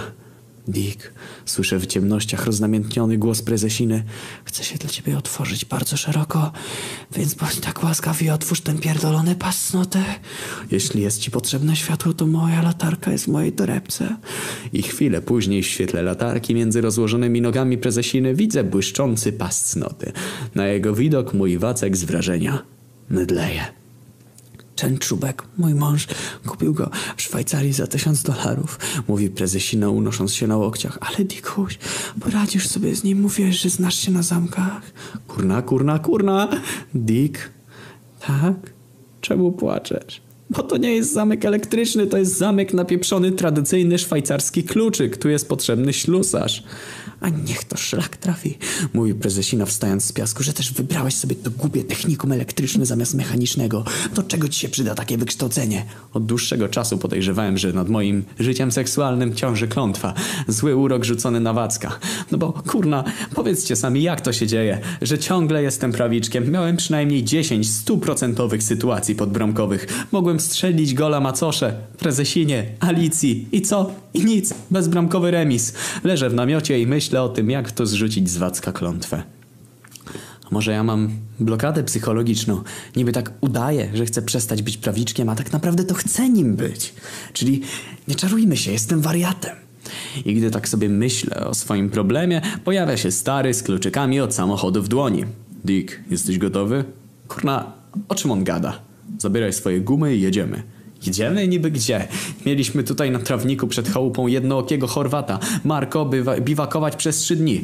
Kurna, oczeki, nieoczekiwana zamiana miejsc, o której Dick oczywiście dowiaduje się na samym końcu.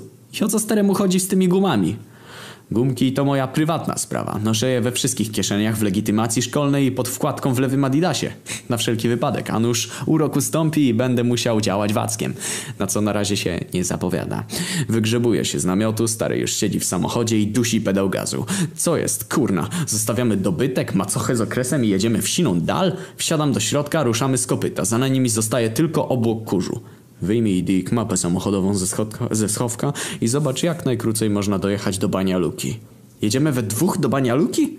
Patrzę na mapę i kurna Wacek z wrażeniami mdleje.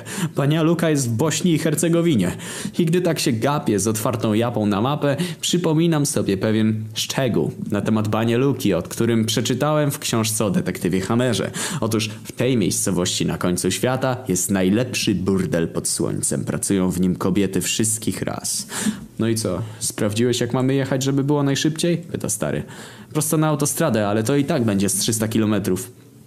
Dystans dla prawdziwych mężczyzn, mówi stary zakładając okulary przeciwsłoneczne, w których wygląda jak ojciec Manuela z ulubionego serialu Macochy.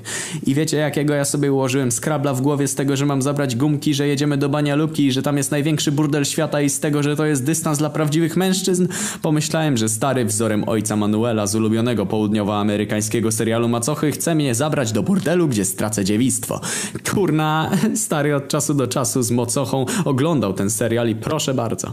Teraz jedziemy do burdelu, żeby wszystko odbyło się tak, jak w Ameryce Południowej. Tam ojcowie pomagają synom wejść w dorosłe życie i fundują im pierwszy numerek z panienką. Wpadamy na autostradę i prosto na Banialukę. Gaz do dechy, tato. Nawet nie macie pojęcia, jak szybko można prze, przebyć dystans 300 km, kiedy ma się jasno wyznaczony cel. Dlatego całą drogę zastanawiam się nad tym z kobietą, jakiej rasy chciałbym stracić dziewictwo. No bo jeśli w tym burdelu w Banialuce są kobiety wszystkich ras, to mogę wybierać i przebierać jak w gruszkach ulęgałkach. Może murzynka? Czekoladowa jak batonik. Mięciutka jak budyń. Taka szansa może mi się nie powtórzyć drugi raz. Ale nie warto bez głębszego zastanowienia decydować się od razu na brąz, gdy do wyboru mamy także inne kolory. Dick, a co byś powiedział na małą chinkę w kolorze żółtym? Taka chinka w łóżku może się okazać prawdziwym złotem. Albo czerwonoskóra Indianka. Poza tym warto zwrócić uwagę na wzrost. Przecież do wyboru są wysokie jak koszykarki Szwedki i malutkie pigmejki z Afryki. No i waga ciała, co wybrać? Chude jak patyk modelki wszystkich ras, czy grube zawodniczki z sumo z południowej Japonii? No i na takich rozmyślaniach te 300 kilometrów zleciało mi jak z bicza strzelił. Nawet nie zauważyłem, kiedy zajechaliśmy przed dwupiętrowy budynek w Banialuce. Stary gasi silnik i patrzy przed przednią, przednią szybę w kierunku tabliczki na froncie budynku i mówi To chyba tu. Jak tu? Przecież na tej tabliczce jest napisane, że to polski konsulat. No chyba, że burdel jest na piętrze. Dick, daj jedną gumę. O kurna, myślę, a więc stary też chce tutaj zamoczyć swojego wacka. Dlatego macocha została na biwaku. Cwaniak. Sięgam do tylnej kieszeni i wyjmuję gumkę. Jedną mogę odpalić staremu, ale cała reszta jest moja. Podaję mu i puszczam do niego perskie oko. Stary patrzy na gumkę, którą trzymam na dłoni. To miętowa? Pyta. Kurna koneser. Smakowe mam w kieszeniach z przodu i adidasie pod wkładką. Wyjmuję je wszystkie po kolei i sprawdzam, która jest miętowa. Nie mam miętowej. Jest o smaku banana, czekolady, wiśni, truskawki. Dobra, niech będzie bananowa. Jeszcze takiej nie używałem. Ja też. Mówię i podaję mu. Jakaś dziwna. Zaczyna wydziwiać stary, przyglądając się opakowaniu. Jak to dziwna? Rozmiar dla Europejczyków. Normal. Stary patrzy na mnie jak na wariata. Następnie otwiera opakowanie i wyjmuje ze środka zrolowaną prezerwatywę. Dick? Tak? Co to ma być? Gumka. Tak jak prosiłeś, bananowa. Dick, kurwa, prosiłem cię o gumę do rzucia, a nie do kondoma. Co mam przed rozmową z konsulem porzuć sobie kondoma? Jak myślisz, po co przejechaliśmy te 300 kilometrów? Jak to po co? Miałem stracić dziewictwo w najlepszym burdelu na świecie. Czy coś się zmieniło? Dick, zrobiliśmy taki szmat drogi tylko dlatego, że rano zadzwonił do mnie ojciec gębacza i poprosił, żebym odebrał tego szajbniętego synka z konsulatu w Banialuce. Ten idiota w pogoni za włosem łonowym bezprawnie przekroczył granicę międzypaństwową, więc Dick, Bądź tak łaskaw, wyszperać ze swoich kieszeni gumę do rzucia, bo przed rozmową z konsulem chciałbym sobie odświeżyć oddech. Sami widzicie, ciąży nade mną klątwa. Zrobiliśmy w sumie 600 kilometrów tam i z powrotem, tylko po to, żeby zabrać z Banialuki gębacza. Teraz siedzimy we dwóch nad morzem i gapimy się na malutką wysepkę na horyzoncie, nad którą zachodzi słońce. Jak głosi chorwacka legenda, podobno mieszka tam 6 tysięcy kobiet spragnionych miłości. Dick, no, życie nie ma sensu. Tak myślisz, gębacz? Kurwa, Dick, wszystko idzie mi na opak. Czyżby nad gębaczem ciążyła klątwa podobna jak nade mną? Co masz na myśli, gdy mówisz, że idzie ci na opak? No stary, niektórzy rodzą się w czepku, a ja mam od dzieciństwa przechlapane. Najpierw przez pierwsze pięć lat matka wychowywała mnie jak dziewczynkę. Ubierała mnie w sukienki, robiła mi na głowie warkocze, potem w wieku lat sześciu przez przypadek wypiłem butelkę piwa i zagubiłem się we mgle. Jak to zgubiłeś we mgle? Normalnie, na spacerze, w październiku, znasz to powiedzenie. Ktoś zachowuje się jak pijane dziecko we mgle. Znam. To mnie, ale to, że zgubiłem się we mgle, to mały pikuś w porównaniu z tym, co mi się przytrafiło, gdy miałem lat 12 i trwa do dziś. Mianowicie, zachorowałem na przewlekłą nadkochliwość na tle nerwicowym. Poważnie? Jest taka choroba? Niby na czym polega? Na tym, że bardzo szybko się zakochuje, wiesz, od pierwszego wejrzenia. I do tego bez wzajemności. To się jakoś leczy? Psychoterapia i końskie dawki psychotropów. Ale w moim przypadku wszystko na nic. Podobno jestem przypadkiem patologicznym, nie rokującym nadziei na wyleczenie. A wszystko zaczęło się w wieku lat 12, gdy zakochałem się w siostrze zakonnej, która prowadziła lekcje religii. Kiedy się jej oświadczyłem, zamknęli mnie na pół roku do czubków. Potem była nauczycielka od chemii, dziewczyna z okładki Playboya, sąsiadka naprzeciwka i ciotka i tak dalej. Całe pasmo miłosnych rozczarowań, no i teraz Alicja. W tym miejscu gębacz przerwał swoją gawędę, aby poprowadzić bandaż na czole. Wyznałeś dzisiaj Alicji miłość? Tak. Otworzyłem przed nią serce. W końcu chyba po to się ludzie w sobie zakochują, aby mogli drugiej, drugiej osobie wyznać, kim tak naprawdę są. Oszalałeś. Wszystko jej powiedziałeś o sobie? Wszystko. Takie są reguły miłości. No i co ona na to? Że jeszcze nigdy w życiu nie widziała bardziej pojebanego człowieka niż ja, a na koniec przywaliła mi w czoło szkatułką z czarnego drewna, w której przechowuje jej drogocenny włos łonowy. Przechlapane. No, tak jak ci mówiłem. Moje życie nie ma sensu. Gębacz, na pocieszenie ci powiem, że nade mną też ciąży klątwa. Poważnie? Stary, ja jeszcze jestem prawiczkiem. Nie, nie, nie. Jakim cudem? Ty z tym swoim nikiem? Fatum. I tak siedzimy na plaży, słońce zaszło za wyspę, mrok zapada, morze szumi, a my zastanawiamy się nad sensem życia. Przechlapane. Tak jak mówi gębacz. I gdy tak siedzimy i popadamy w coraz większą depresję, z prawej strony plaży pojawia się jak promyk nadziei postać w białej szacie. Gębacz, kto to idzie? Nawet nie chcę patrzeć, bo się znowu zakocham. Kurwa, gębacz, przecież to jest facet. Gębacz odwraca głowę i razem ze mną wpatruje się w stronę zbliżającej się postaci. Kiedy jest jakieś 20 metrów od nas, poznaje, że to jest Chorwat Marko, u którego w ogrodzie biwakujemy. Idzie za kosami. W dłoni trzyma butelkę i cicho podśpiewuje pijackim głosem. W końcu nas zauważa i łamaną polszczyzną, której nauczył się od polskich turystów, mówi no co wy tacy smutni jesteście? Poderwijcie sobie jakieś laseczki, przelecie je i od razu będzie wam weselej. No chyba, że wy jesteście geje, ale na to też jest rada. Poderwijcie sobie chłopaków i się rozchmuszcie. Proszę pana, uprzejmie dementujemy. My nie jesteśmy homoseksualistami. Po prostu sobie tu siedzimy i oglądamy zachód słońca. Marko macha niecierpliwie ręką, w której trzyma flaszkę. Jeśli nie jesteście geje, to powiedzcie z ręką na sercu, z iloma kobietami uprawialiście seks. No kurna. W jednym ruchu dał nam szachmat. Gębacz patrzy na mnie, a ja na gębacza. A Marko triumfalnie potrząsa flaszką. Ha! No i mam was, bratki, a wiecie ile ja miałem kobiet zanim mi wdłubali serbowie oko? No strzelajcie. Głupia zabawa, w którą daliśmy się wciągnąć. Pierwszy wyrwał się z odpowiedzią gębacz. Jedno, ale to była prawdziwa miłość od pierwszego wejrzenia. Chorwat przechyla się do tyłu i zaczyna się śmiać z twarzą zwróconą do nieba. Dziesięć. Obstawiam jako drugi. Chorwat ruchem dłoni pokazuje, żebyśmy podnieśli poprzeczkę. Sto. Strzela gębacz. Ale naprawdę ważna była tylko ta pierwsza. Prawdziwa miłość. Mało, mówi jednooki Chorwat. Dwieście. Rzucam na szale. Trzysta. Przebija gębacz. Ale ważne było tylko tych pierwszych sto. Brak wam fantazji, geje, mówi Chorwat pociągając z gwinta. Sześć tysięcy. Co wy na to? I do tego wszystkie były gotowe za mną skoczyć w ogień. Nie wierzę, mówię. Ja też nie wierzę, wtóruje mi gębacz. Nie wierzę, że tyle kobiet pana kochało. Chorwat znowu przechyla się do tyłu i zaczyna się śmiać z twarzą zwróconą do nieba. Jak nie wierzycie, to je zapytajcie. Niby jak mielibyśmy je znaleźć? Jak to jak? Wystarczy, że przepłyniecie zatokę i dotrzecie na wyspę. I zanim zdążyliśmy z gębaczem cokolwiek powiedzieć, Marko ruszył swoją dalszą drogę wzdłuż plaży.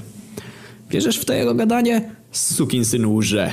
Sześć tysięcy, jak mi tu kaktus wyrośnie. Kutafon, jednooki erotoman, gawędziarz, onanista, gej.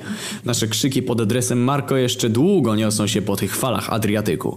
W końcu, kiedy się uspokoiliśmy, nasz wzrok powędrował w siną dal, w stronę wyspy na zatoce. Dick? No? Myślisz, że one tam są? Kurwa gębacz, to legenda, którą miejscowi wymyślili dla takich fiutów jak my. Muszę to sprawdzić. Niby jak? W odpowiedzi gębacz wstaje i wsiada na swój rower. Przejadę po dnie. Jesteś pewien? Muszę to zrobić. Życie bez miłości nie ma sensu. Z jakieś 5 kilometrów. Dam radę. No i sunie swoim jednośniadem po piasku w stronę morza. Zanurza się. Przez chwilę widać jeszcze na powierzchni kask rowerowy, który kroi wodę jak płetwa rekina. W końcu i ten ślad po moim zwichrowanym kumplu znika. Był gęba czy nie ma gębacza? Jakież to życie jest okrutne, myślę patrząc w stronę wyspy. Pięć kilometrów po dnie. Nie ma mocnych, nawet dla takiego zawodnika jak Gębacz. I gdy tak zastanawiam się nad tym, którego dnia okrutne może wyrzuci na brzeg zwłoki, z prawej strony zauważam wracającego brzegiem jednookiego Marko. Co on kurna niesie? W lewej ręce ma butelkę rakii, a w prawej? No i co, geju? Widzę, że twój chłopak się ulotnił. Wita mnie Marko. Popatrz, co upolowałem. I pijany wariat podnosi w górę prawą rękę, w której za uszy trzyma martwego królika. Idę plażą, Piję sobie moją ukochaną rakiję i widzę tego pana, potencjalnie martwego jebakę, który posuwa królicę. Więc podchodzę od tyłu i cap bratka za futrzane barchatki. Podnoszę w górę i szast pras skręciłem mu króliczy karczuś, no i mamy mięsko na kolację. Ech, geju. Widzę, że cię zamurowało. Weź i łyknij sobie rakii, no pij, kiedy Marko częstuje. Kurna, z wariatami nie ma żartów. Biorę butelkę, ukradkiem brzegiem koszuli obcieram zaślinioną szyjkę, przykładam do ust i... Ja pierniczę, ile to ma procent? 105? I czuję jak przełykany alkohol przepala mi wnętrzności. Ale żeby bronić międzynarodowej reputacji Polaków, udaje, że spoko. Nie takie rzeczy się piło. Ech, krzyczy Marko. Ty chyba nie jesteś gejem. Za dobrze wchodzi ci nasza rakija. Golnij sobie jeszcze. Po kolejnej porcji śliwkowego bimbru czuję, że świat nie jest taki ponury, jak tego próbował domalować gębacz. Powiem więcej. Czuję, że dzisiejsza noc się jeszcze nie skończyła. Panie Marko, mówię bełkotliwym głosem, lekko zataczając się w stronę linii brzegu, mam takie małe pytanko. Wal śmiało. W ogóle ty jak masz na imię? Dick. Wal śmiało, Dick. Jakiś problem? Chcesz zabić jakiegoś Serba? Nie, nie, nie, nie, nie, nie, nie, panie Marko. To z innej beczki. Ja mam takie pytanie. Czy wśród tych sześciu tysięcy kobiet, z którymi uprawiał pan seks na wszystkie możliwe sposoby, nie znalazłaby się chociaż jedna, która w ramach przyjaźni między narodem chorwackim i polskim rozdziewiczyłaby mnie dzisiejszej w nocy? Kurwa, Dick. Jesteś jeszcze prawiczkiem? No tak jakoś panie Marko złożyło. Marko wyjmuje butelkę z mojej dłoni, przechyla nad gardłem i opróżnia do dna. Pustą flaszkę rzuca za siebie. Następnie zbliża się i obejmuje mnie ręką, w której trzyma martwego królika. Dick, dobrze kurwa trafiłeś. Właśnie idę do naszego miejscowego burdelu dla weteranów wojny serbsko-chorwackiej, więc godziny twojego dziewictwa są policzone. Jak to wy Polacy mówicie? Komu w drogę temu czas? Podpowiadam. Dokładnie, Dick. Dokładnie. Śmieje się z pełną gębą Marko. A ja myślałem, że ty jesteś gej. Idziemy z Marko do burdelu. Za kosami, plażą. Nad naszymi głowami milion gwiazd, a w naszych sercach radosne podniecenie. Dick, bełkocze Marko, wiesz co świadczy o tym, że facet jest prawdziwym mężczyzną? Przez chwilę się zastanawiam, po czym przypominam sobie słynną sentencję polskiego myśliciela z SLD. O prawdziwym mężczyźnie nie świadczy to, jak zaczyna, tylko jak kończy. Recytuję. Marko niecierpliwie macha ręką, w której trzyma martwego królika. Może kurwa tak jest u was w Polsce, ale u nas w Chorwacji mężczyzna musi zrobić dwie rzeczy, żeby sobie zasłużyć na to zaszczytne miano. Po pierwsze, musi przelecieć 6 tysięcy kobiet, a po drugie musi zabić 6 tysięcy Serbów. Szczęka opada mi do ziemi. No niełatwo być prawdziwym facetem w Chorwacji. No i gdy się zastanawiam nad tymi różnicami kulturowymi, w ciemnościach zauważam siedzącą na piasku postać z latarką. Dick? Podnosi postać latarkę z nad książki. To Alicja, jak zwykle z książką w ręku. Intelektualistka w Chorwacji. Cześć, Alicja. Bełkocze. Dick, ty jesteś pijany? Marko odchyla się do tyłu i zaczyna się śmiać.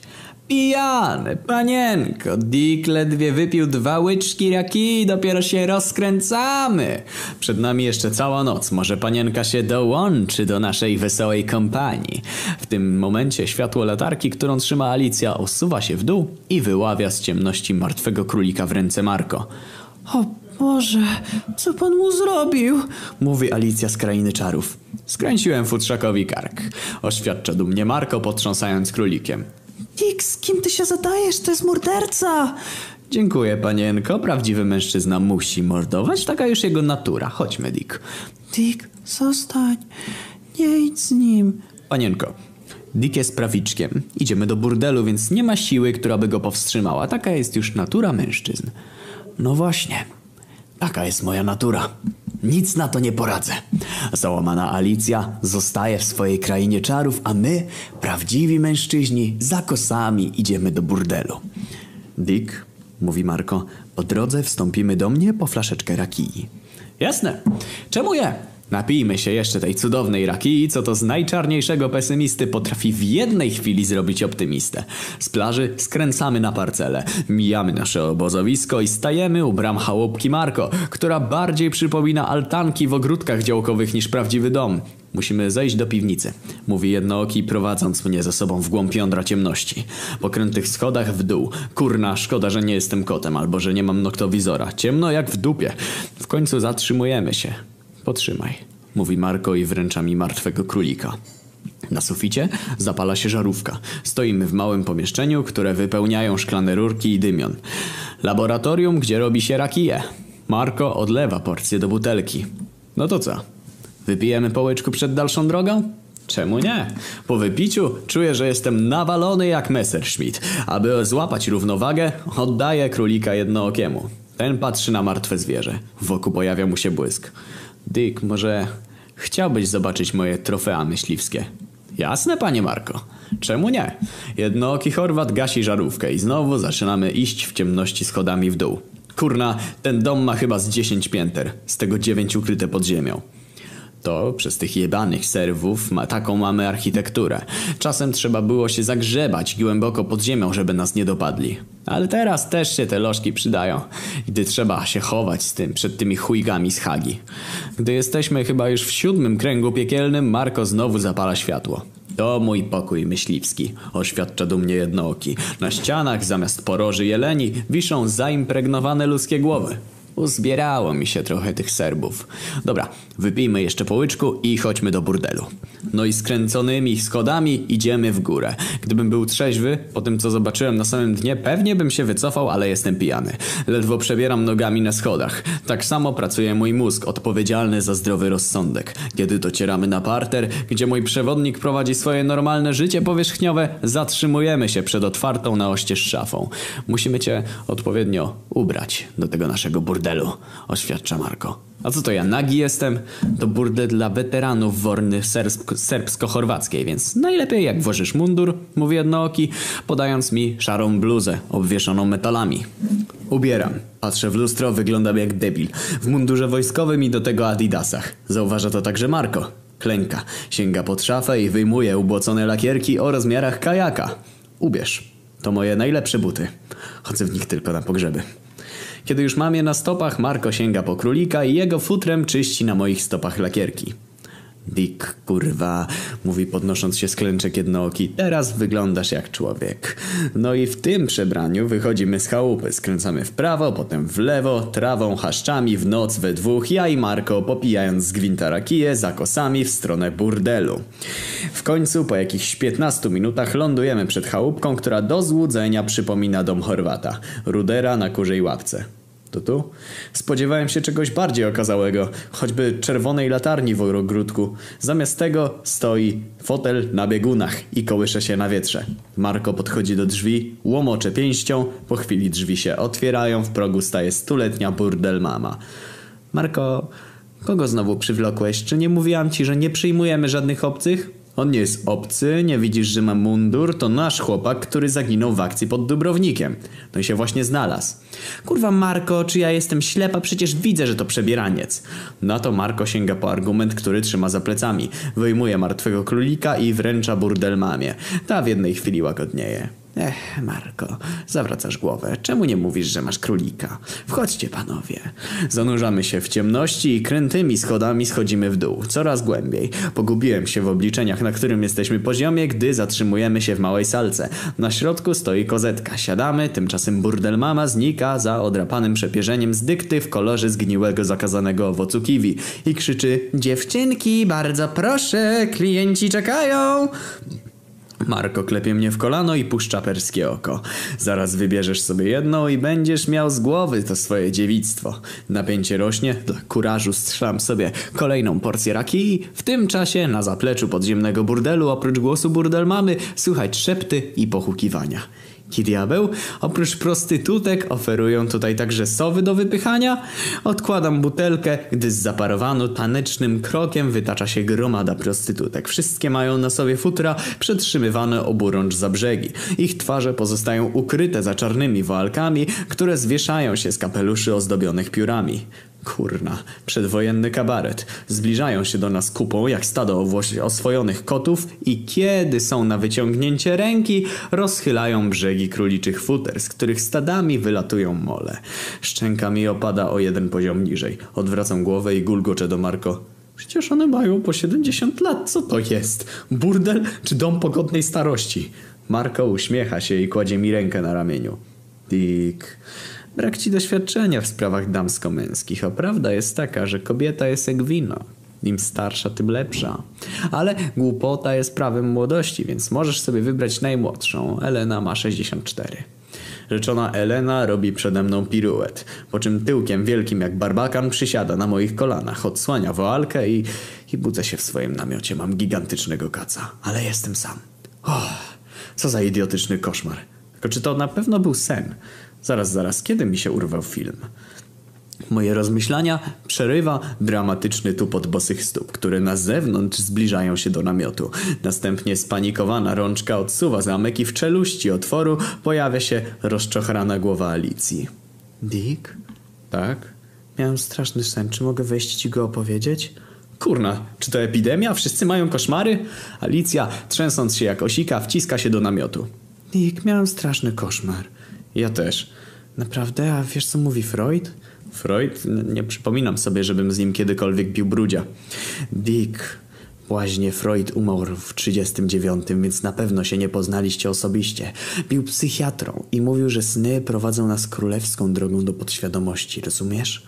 Alu, wypiłem wczoraj morze raki i dzisiaj mój mózg nie pracuje na najwyższych obrotach, więc bardzo proszę, mów do mnie ludzkim językiem, krótko i ciszej. Dick, prześniło mi się, że jestem prostytutką w chorwackim burdelu dla weteranów wojny serbsko-chorwackiej. Mam na imię Elena, skończyłam 64 lata i ciągle jestem dziewicą. Nic nie mówię, ale jestem wstrząśnięty i zmieszany, no bo kurna, sen z Eleną to miałem ja. I zamiast podjąć, było nie było, ciekawy temat współśnienia jednego snu, ja skupiam swoją uwagę na drugorzędnym szczególe. Jak to jesteś dziewicą? Przecież pracujesz w burdelu. No właśnie, pracuję w burdelu, ale ciągle dotrzymuję przysięgi, którą złożyłam w klubie dziewic, gdy miałam lat 18. W związku z tym klientów zaspokajam na wszelkie możliwe sposoby z wyjątkiem tego jednego. Dlatego w burdelu nazywają mnie perwersyjna Elena. Interesujący sen. Mówię jej moją bezużyteczną do tej pory dłoń kładę na udzie Alicji. Czy mogłabyś mi szczegółowo opowiedzieć o tych wszystkich możliwych sposobach zaspokajania klientów? Dick, to tylko sen, który mówi o moich ukrytych wewnętrznych konfliktach psychologicznych. To królewska droga, którą mogę dotrzeć do mojej podświadomości. Kurna, myślę sobie, jaka ta Alicja jest mądra. Jednocześnie przesuwam dłoń po królewskiej drodze jej uda, która prowadzi mnie wprost do tajemniczego ogrodu. Ale zanim tam dotrę, kontynuuje Alicja, najpierw sen zależy, należy zinterpretować. I wiesz, Dick, jak ja go zinterpretowałem? Jak? Pytam, a jednocześnie wkraczam pięcioma palcami na dziewicze tereny jej łona. Myślę, że moja podświadomość nie pogodziła się z przysięgą, którą złożyłam w klubie dziewic. Rozumiesz, Dick, moje libido jest w śmiertelnym konflikcie z superego. Pewnie, że rozumiem, nawet mój Wacek ma w małym palcu teorię Freuda. Ale po co się tak podniecać, po co krzyczeć? Przecież na pewno taki konflikt da się rozwiązać. Moja droga Alicjo, jeśli tylko nie będziesz ruszała i pozwolisz, abym zastosował swoją oryginalną metodą terapeutyczną, twoje cierpienia zaraz się skończą. Tak sobie myślę, jednocześnie sunę dłonią w górę po brzuchu i zatrzymuję się dopiero na piersiach. Dick, szepcze zdesperowana Alicja, nie wiem co robić. Tymczasem moje paluszki wirtuoza wygrywają rozkosznie allegro na sterczących sutkach. Dick, wydusza z siebie Alicja. Ja chyba muszę złamać tę przysięgę. Nie chcę zostać perwersyjną prostytutką. Oczywiście. Nie można do tego dopuścić. Dlatego zdejmuję spodnie i bezradną rączkę Alicji umieszkam na czubku Wacka. Niech pozna swojego psychoterapeutę. Och, Dick. Układam mięciutką Alicję na plecach, sięgam w dół i zsuwam z niej majtki. Rozsuwam kolana, zajmuję pozycję jak Adam Małysz na szczycie wielkiej krokwi. Tuż przed skokiem wybijam się z progu, lecę, Wacek ląduje z telemarkiem tuż przed punktem K na granicy mysiego futerka Alicji i w tym momencie narta odskakuje w bok. Czubek najechał mi na myśli ogonek. Dick, Alicja unosi się na łokciach. Wiesz, złamię swoje ślubowanie, ale dopiero za dwa dni, jak mi się skończy okres. A ty, Dick, jaki miałeś sen? Piękny, ale właśnie się skończył. W normalnych warunkach w tym miejscu skończyłbym posta, ale kurna, sytuacja robi się drażliwa. Ludzie piszą do mnie maile z pogróżkami, że jak kogoś w końcu nie przelecę, to oni mnie przelecą, no bo ileż można się bawić w cieciu babkę. Więc w obronie własnej nienaruszalności osobistej postanawiam działać radykalnie i nieliteracko. Alicjo, mówię, wyjmując z plecaka długopis i kartkę, czy możesz dać mi to na piśmie? Co? Że wiesz, za dwa dni. Na piśmie. No, chciałbym to mieć zaklepane. Dlaczego? Bo ciąży nade mną fatum. A jak będę to miał na piśmie, Dick? Tak? Jesteś szurnięty tak samo jak gębacz, dawaj tę kartkę. No i napisała oświadczenie. Więc spoko. Teraz sobie tylko odliczamy z Wackiem kolejne upływające minuty, to już za dwa dni. Dwunasta w południe, plaża, Upał taki, że gdyby Wacek był figurką z wostu, już dawno by się stopił. Rozłożyliśmy się całym obozem jakieś 10 metrów od wody. Każdy ma swój kocyk albo leżak i plażujemy. W tle pod parasorem stary i prezes grają w karty. Leżak z lewej strony okupuje prezesina. W dłoni trzyma gazetę dla kobiet i rozpłomienionymi oczami czyta artykuł pod tytułem Orgazm na wyciągnięcie ręki. Na wprost, z nieskromnie rozłożonymi nogami, z biustem XXXXL sterczącym na tle nieba, leży macocha, królowa plaży. Czyta program TV z poprzedniego tygodnia. Po prawej stronie na wyciągnięcie ręki leży na kocyku Alicja w białym bikini. Wsparta na łokciach czyta mitologię Jana Parandowskiego. No i ja i Wacek. Gdybym był zakłamanym kutasem, powiedziałbym, że Wacek stoi mi dlatego, że już nie mogę się doczekać zapowiedzianego intymnego kontaktu z Alicją, ale prawda jest taka, że Wacek zawsze mi stoi na plaży. Także dzisiaj. Więc skoro na plaży stoi mi w każdych okolicznościach, to nie ma żadnych powodów, abym nie mógł czytać w tej sytuacji erotyczno-kryminalnej powieści o detektywie Hamerze. Tak więc leżę pośrodku naszego obozowiska. Jestem w punkcie kulminacyjnym powieści erotyczno-kryminalnej, w którym niewyżyta laska dostaje piątego orgazmu w wyniku dogłębnej penetracji penisem detektywa Hammera. Pod wpływem powieściowych emocji, a także plażowej atmosfery i zapowiedzianego rozdziewiczenia z rąk Alicji, mój Wacek ryje główką w piasku. Nowa odmiana strusia strój chorwacki. Właśnie zastanawiam się nad tym, co by można zrobić, aby Wacek przestał się wbijać w planetę Ziemię, gdy na swoim kocyku Alicja odwraca się w moją stronę. Moim oczom, które oderwałem od strony, na której niewyżyta laska kończy swój piąty orgazm, ukazuje się Alicja w białym bikini od frontu. Z wrażenia Wacek wbija się w 5 centymetrów głębiej w ziemię. Dick? Znasz mit Syzyfa? Odzywa się Alicja, pokazując na swoją książkę. To tym gościu, co toczył kamień pod górę? Niezły absurd, żeby tak całe życie się męczyć. Wiesz, szepcze w moją stronę Alicja. Ja myślę, że z takim absurdem mamy do czynienia na co dzień. Kurna, coś na ten temat mógłbym powiedzieć. Na przykład teraz. Zupełnie absurdalna sytuacja. Mój wacek niczym wiertło górnicze wbija się coraz głębiej w ziemię. Czysty absurd. Kiedyś na łące w Lasku Wolskim miałem okazję posuwać ziemię ojczystą, a teraz bezczeszczę ojczyznę Chorwatom. Muszę coś z tym zrobić, bo czubek dokopie się do jądra ziemi. Dick, kontynuuje Alicja szeptem swoje filozoficzne wywody. Popatrz na naszych starych. Każdy z nich toczy taki absurdalny kamień. Moja matka do końca życia będzie wspinała się na szczyt w pogoni za doskonałym orgazmem. I gdy Alicja tak sobie nadinterpretuje w słońcu mit Syzyfa, ja myślę nader przyziemnie. Żeby nie powiedzieć podziemnie. Zastanawiam się, co zrobić z oszalałym Wackiem. Mógłbym go obłożyć lodem, to by pomogło, ale skąd ja wezmę lód? Musiałbym przejść na koniec plaży i kupić w budce. Nierealne. Jak ja przejdę przez całą plażę z Wackiem sterczącym w kąpielówkach jak narta? Aby zmniejszyć rozmiary Wacka bez skutków ubocznych, powinienem pobiec do morza. Morska woda też na wariata działa uspokajająco. Od brzegu dzieli mnie 10 metrów, kalkuluję. Taki dystans mógłbym pokonać w ciągu jednej sekundy. Okej, okay. zdejmuję okulary przeciwsłoneczne i szykuję się do skoku. 10 metrów. Jedna sekunda, nikt nie zauważy zauważy, że biegnę z dzidą do wody. Zajmuję pozycję startową i tylko czekam, aż mały chorwacki chłopczyk zabierze swoją pieprzoną piłkę z bieżni. W końcu jest wolne. Start. Biegnę i... Ja pierniczę. Ten mały cholerny Chorwacik oprócz piłki miał jeszcze wiaderko i łopatkę, które zakopał w piasku. Dokładnie w połowie drogi. Tam, gdzie moja stopa sprintera miała dotknąć ziemi i się odbić. Zamiast tego osunęła się we wkopany dołek. Jebudu! Tak więc obecnie leżę 5 metrów od wody. Pół sekundy dzieli mnie od tego, aby Wackowi zrobić zimną kąpiel. Jest tylko jeden problem. Po tym jak zaliczyłem glebę, patrzą na mnie wszyscy ludzie na plaży i zastanawiają się, czy dostałem udaru mózgu. Nie ma siły, żeby nie zauważyć zauważyli, że Wacek sterczy mi w kąpielówkach jak narta Adama Małysza w locie. Wpadam więc na genialny pomysł. Przecież takie głupie 5 metrów mogę się przeczołgać. Co to dla mnie? I zaczynam się suwać cielskiem po piasku jak gigantyczny krab. Dick? Słyszę za pleców głos macochy. Co ty wyprawiasz? Nic. Pełznę sobie do wody. I centymetr po centymetrze, żłobiąc wackiem plażę, zbliżam się do wody. Mam czas. W końcu jestem na wakacjach. W trakcie pełzania, gdy od wody dzieli mnie metr, z pleców dobiega mnie głos starego. To jakiś absurd. Dick, wstawaj. Na co odzywa się w mojej obronie nasza plażowa intelektualistka, specjalistka od mitów greckich Alicja z Krainy Czarów. Proszę mu nie przerywać, on inscenizuje mit Syzyfa, toczy swój kamień. No bez jaj. Wprawdzie mój wacek rzeczywiście w chwili obecnej jest twardy jak kamień, ale w żadnym wypadku nie jest okrągły. Alicja nie wie o czym gada. Żeby całkiem było tak jak w tym micie, to po doczołganiu się do linii brzegu powinieneś zawrócić. Słyszę instrukcję Alicji z zapleców. W życiu muszę Wacka natychmiast zanurzyć i gdy o tym myślę, przesuwając się centymetr po centymetrze w stronę wody, słyszę prezesa. Na pewno zawróci. Tak? A niby czemu? Dyszę pod nosem. Nie jest chyba taki głupi, żeby dzisiaj wchodzić do wody. Do wody, do wody, do wody. Po tym, co nam powiedział rano Marko. Od linii brzegu dzieli mnie jakieś pół metra. Zatrzymuję odwok, odwracam głowę, gapi się na mnie cała plaża, patrzę znowu na morze i dopiero teraz widzę, że nikt dzisiaj się nie kąpie. A co mówił Marko? Pytam przez ramię.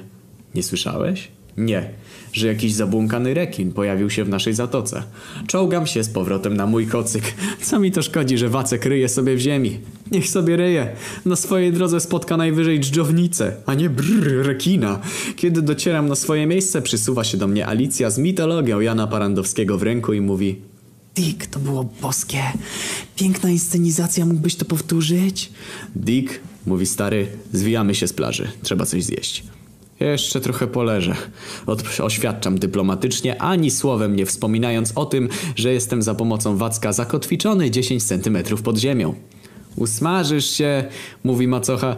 Oto tutaj przyjechaliśmy. Przychodzi mi w sukurs prezesina, obracając na paleni swoje chude ciało na drugą stronę. Ja też zostaję.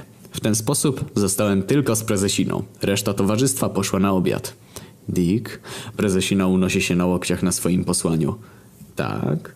Czy mógłbyś przesiąść się na mój kocyk? Chciałabym z tobą porozmawiać.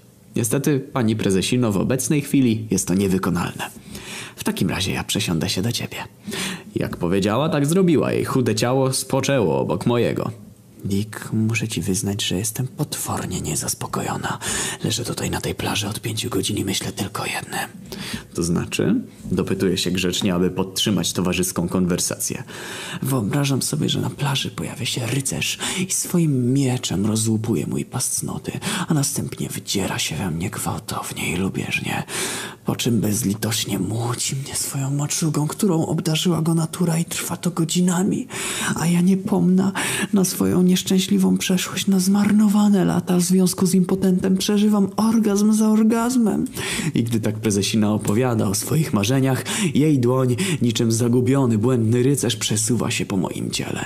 Wjeżdża pod gumę kąpielówek i atakuje mnie od tyłu, z boczem pośladków. Dick, życie jest takie ciężkie. No bo spójrz na mój związek z prezesem, przecież my jesteśmy zupełnie niedobrani. On jest impotentem, a ja nimfomanką. Łączy nas tylko Toyota, którą kupiliśmy na kredyt. Ale jakie znaczenie ma pieprzony samochód, gdy ja odczuwam piekielne pożądanie, a on jest impotentem. Jemu jest potrzebna zimna blondynka, a mi ognisty ogier. I gdy tak prezesina frustruje się, jej dłoń dopada mojego wacka ukrytego pod ziemią. Ujmuje go w opiekuńczą dłoń i zaczyna jeść, ujeżdżać w dołku. Dick, potrzebuję faceta i to na gwałt, bo zwariuję.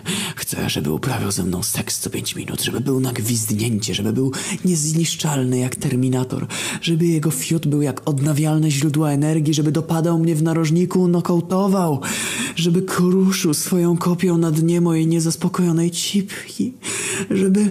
I w rytm tej litanii życzeń dłoń prezesiny mimochodem doprowadza Wacka do orgazmu. Strzelam nasieniem w głąb ziemi chorwackiej. Kurna, ciekawe co im tu wyrośnie. Dick, kończy prezesina, Jednym słowem, potrzebuję rycerza, który, który natychmiast zdejmie mi ten pas cnoty i swoim fiutem porzrywa pajęczynę w mojej jaskini rozkoszy. Po jej wypowiedzi zapada na chwilę cisza, po czym za naszymi plecami ze wszystkich stron do naszych uszu dobiega wrzawa. Kurna, czyżby wszyscy nam się przyglądali, a teraz biją brawo? Unoszę głowę. Ludzie stoją na piasku i z szeroko otwartymi oczami patrzą w stronę morza. Dick, popatrz, szepcze prezesina. Rekin. Odwracam się w stronę morza. Po powierzchni wody w stronę brzegu sunie płetwa rekina. Ej, bez jaj, to nie jest płetwa rekina. To jest kask gębacza. W następnej chwili, jak rycerz wynurzający się na swoim koniu stopieli, wtedy wyjeżdża na rowerze gębacz.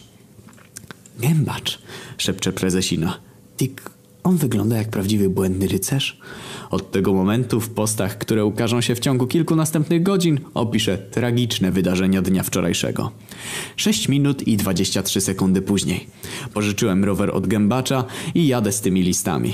Kurna, czym ja się zajmuję? Godzina mojego rozdziewiczania lada moment wybije, a ja tu się zabawiam w listonosza. Gdy tak pedałuję, nagle z boku zahacza mnie prezesina.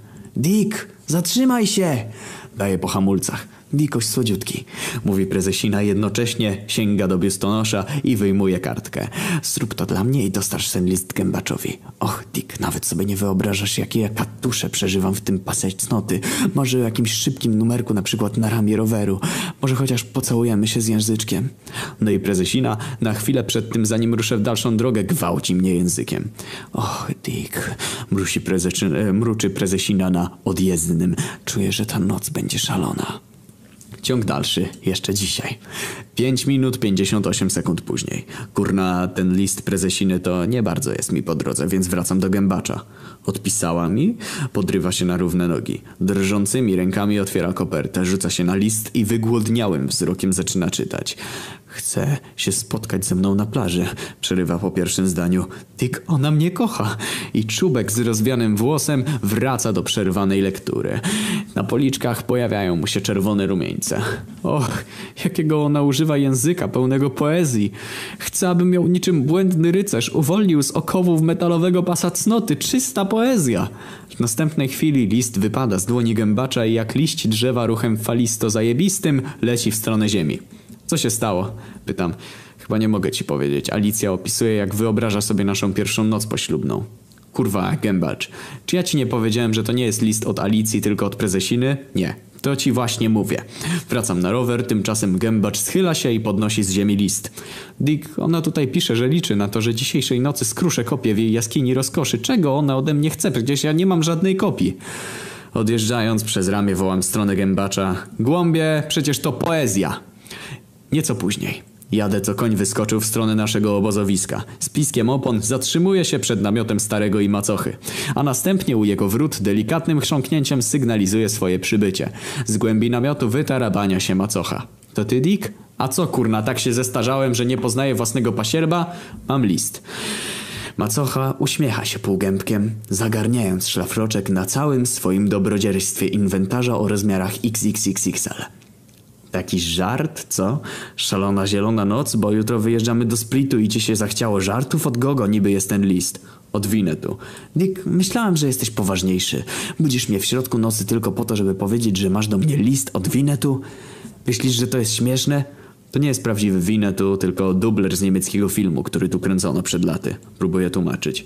Macocha wyrywa mi list z dłoni i patrząc mi prosto w oczy mówi Nick, skończ pierdolić.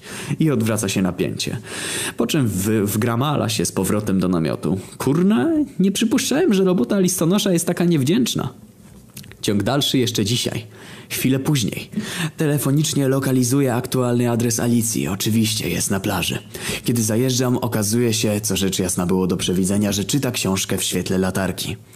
Co czytasz? Pytam wyjmując z kieszeni list. Kamasutrę. Odpowiada Alicja i zawiesza na mnie swój dziewiczo-perwersyjny wzrok. Próbuję się przygotować teoretycznie przed naszym dzisiejszym spotkaniem. Uff, to będzie gorąca noc, ale najpierw skończmy z tymi listami. Wyciągam dłoń z kopertą w stronę Alicji. List? Napisałeś do mnie list, Dick? Ależ to romantyczne. Chrząkam w ciemnościach i żeby nie było nieporozumień, tak jak miało to miejsce w chwili dostarczenia przesyłki do gębacza, uprzejmie prostuję. To nie jest list ode mnie. Alicja unosi głowę. A od kogo?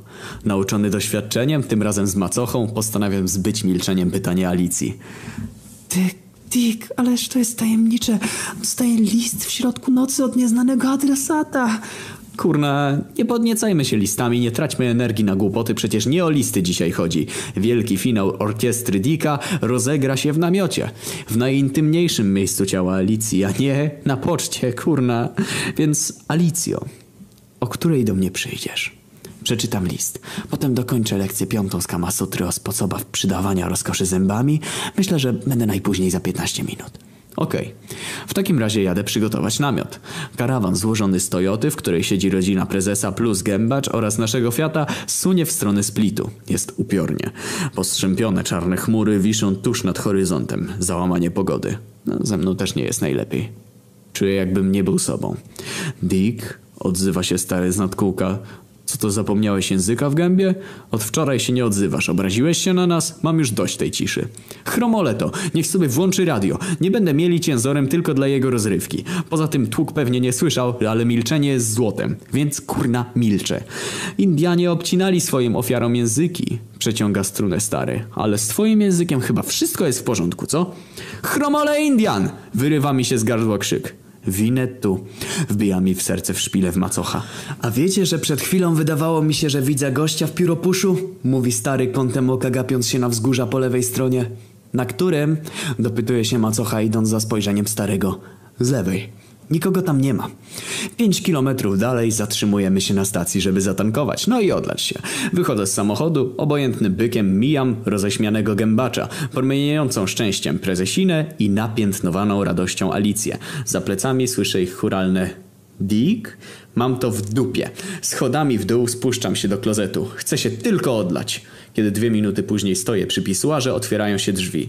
Kurna, do środka wtarabania się prezes. Staję w progu i czuję to. Gapi się na mnie. Chromoleto. Kończę się odlewać. Otrzypuję wacka i... Dick, odzywa się prezes, gdy próbuje przecisnąć się obok niego w przejściu. Mam dla ciebie propozycję. Unoszę głowę i stalowym spojrzeniem patrzę prosto w jego świńskie oczka. Słucham. Prezes wyjmuje z kieszeni paczkę papierosów. Częstuje mnie, niby nie palę, ale czemu nie? Dick, odzywa się prezes, zacią- zaciągając się dymem. Tak się na tej naszej wycieczce pojebało, że chyba mamy wspólnych wrogów. Więc może zjednoczymy siły i wyeliminujemy z gry pana potencjalnego martwego Winetu i idącego jego śladem do krainy cieni pana Gębacza. W ciszy, która zapadła, słyszę własny głos, który odbija się echem od ścian. Kiedy? Przy pierwszej nadarzającej się okazji, mówi prezes i wyciąga do mnie dłoń. Ściskam ją. Następnie po schodach, paląc fajkę, ale nie zaciągając się, wychodzę na zewnątrz. Idę w stronę wozu.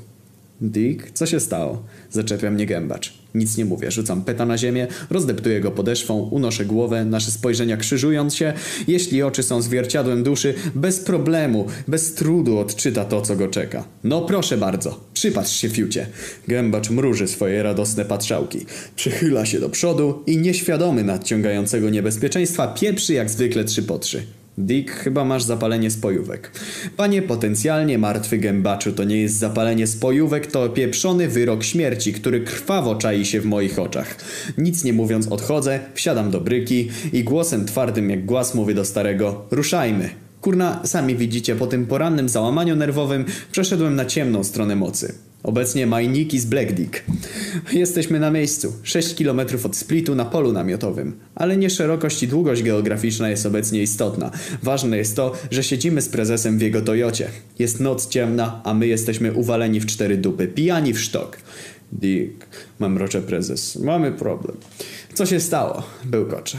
W odpowiedzi pijany prezes w ciemnościach przesuwa ręce z prawa na lewo i z powrotem. Kurwa, Dick, ktoś ukradł kierownicę. Ale zacznijmy od początku. Jak już mówiłem, jesteśmy na miejscu, na polu namiotowym 6 km od Splitu. O godzinie 10 razem z prezesem oraz z dwoma łopatami usiadliśmy na wydmy. Nieopodal pola namiotowego, nie dalej niż 500 metrów, za nasypem kolejowym, gdzie postanowiliśmy wykopać grób.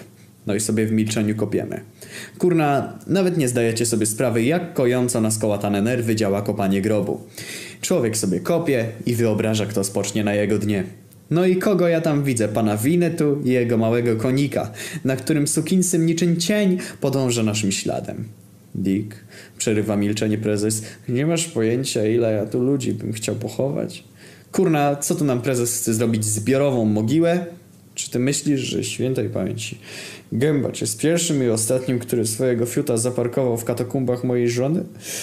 Nawet się nie mieści w pierwszym tysiącu. Gdybym chciał ich wszystkich pochować, kopalibyśmy tu rok bez przerwy. W tym miejscu swojej gorzkiej gawędy rodzinnej prezes przerywa kopanie. Kurwa, coś mi się zdaje, że to syzyfowa praca. Bez drewnianego szalonku nie da rady. Piasek się osypuje. To fakt.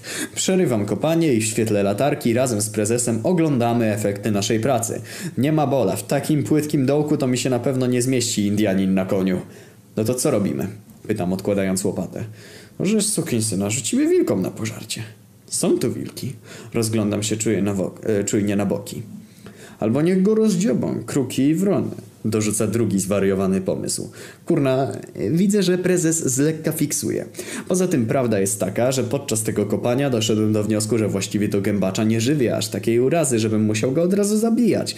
Wkurwia mnie od lat, to fakt, ale niech sobie wegetuje. Byleby mi w drogę nie wchodził, tak więc na razie chcę tylko zbić winę tu.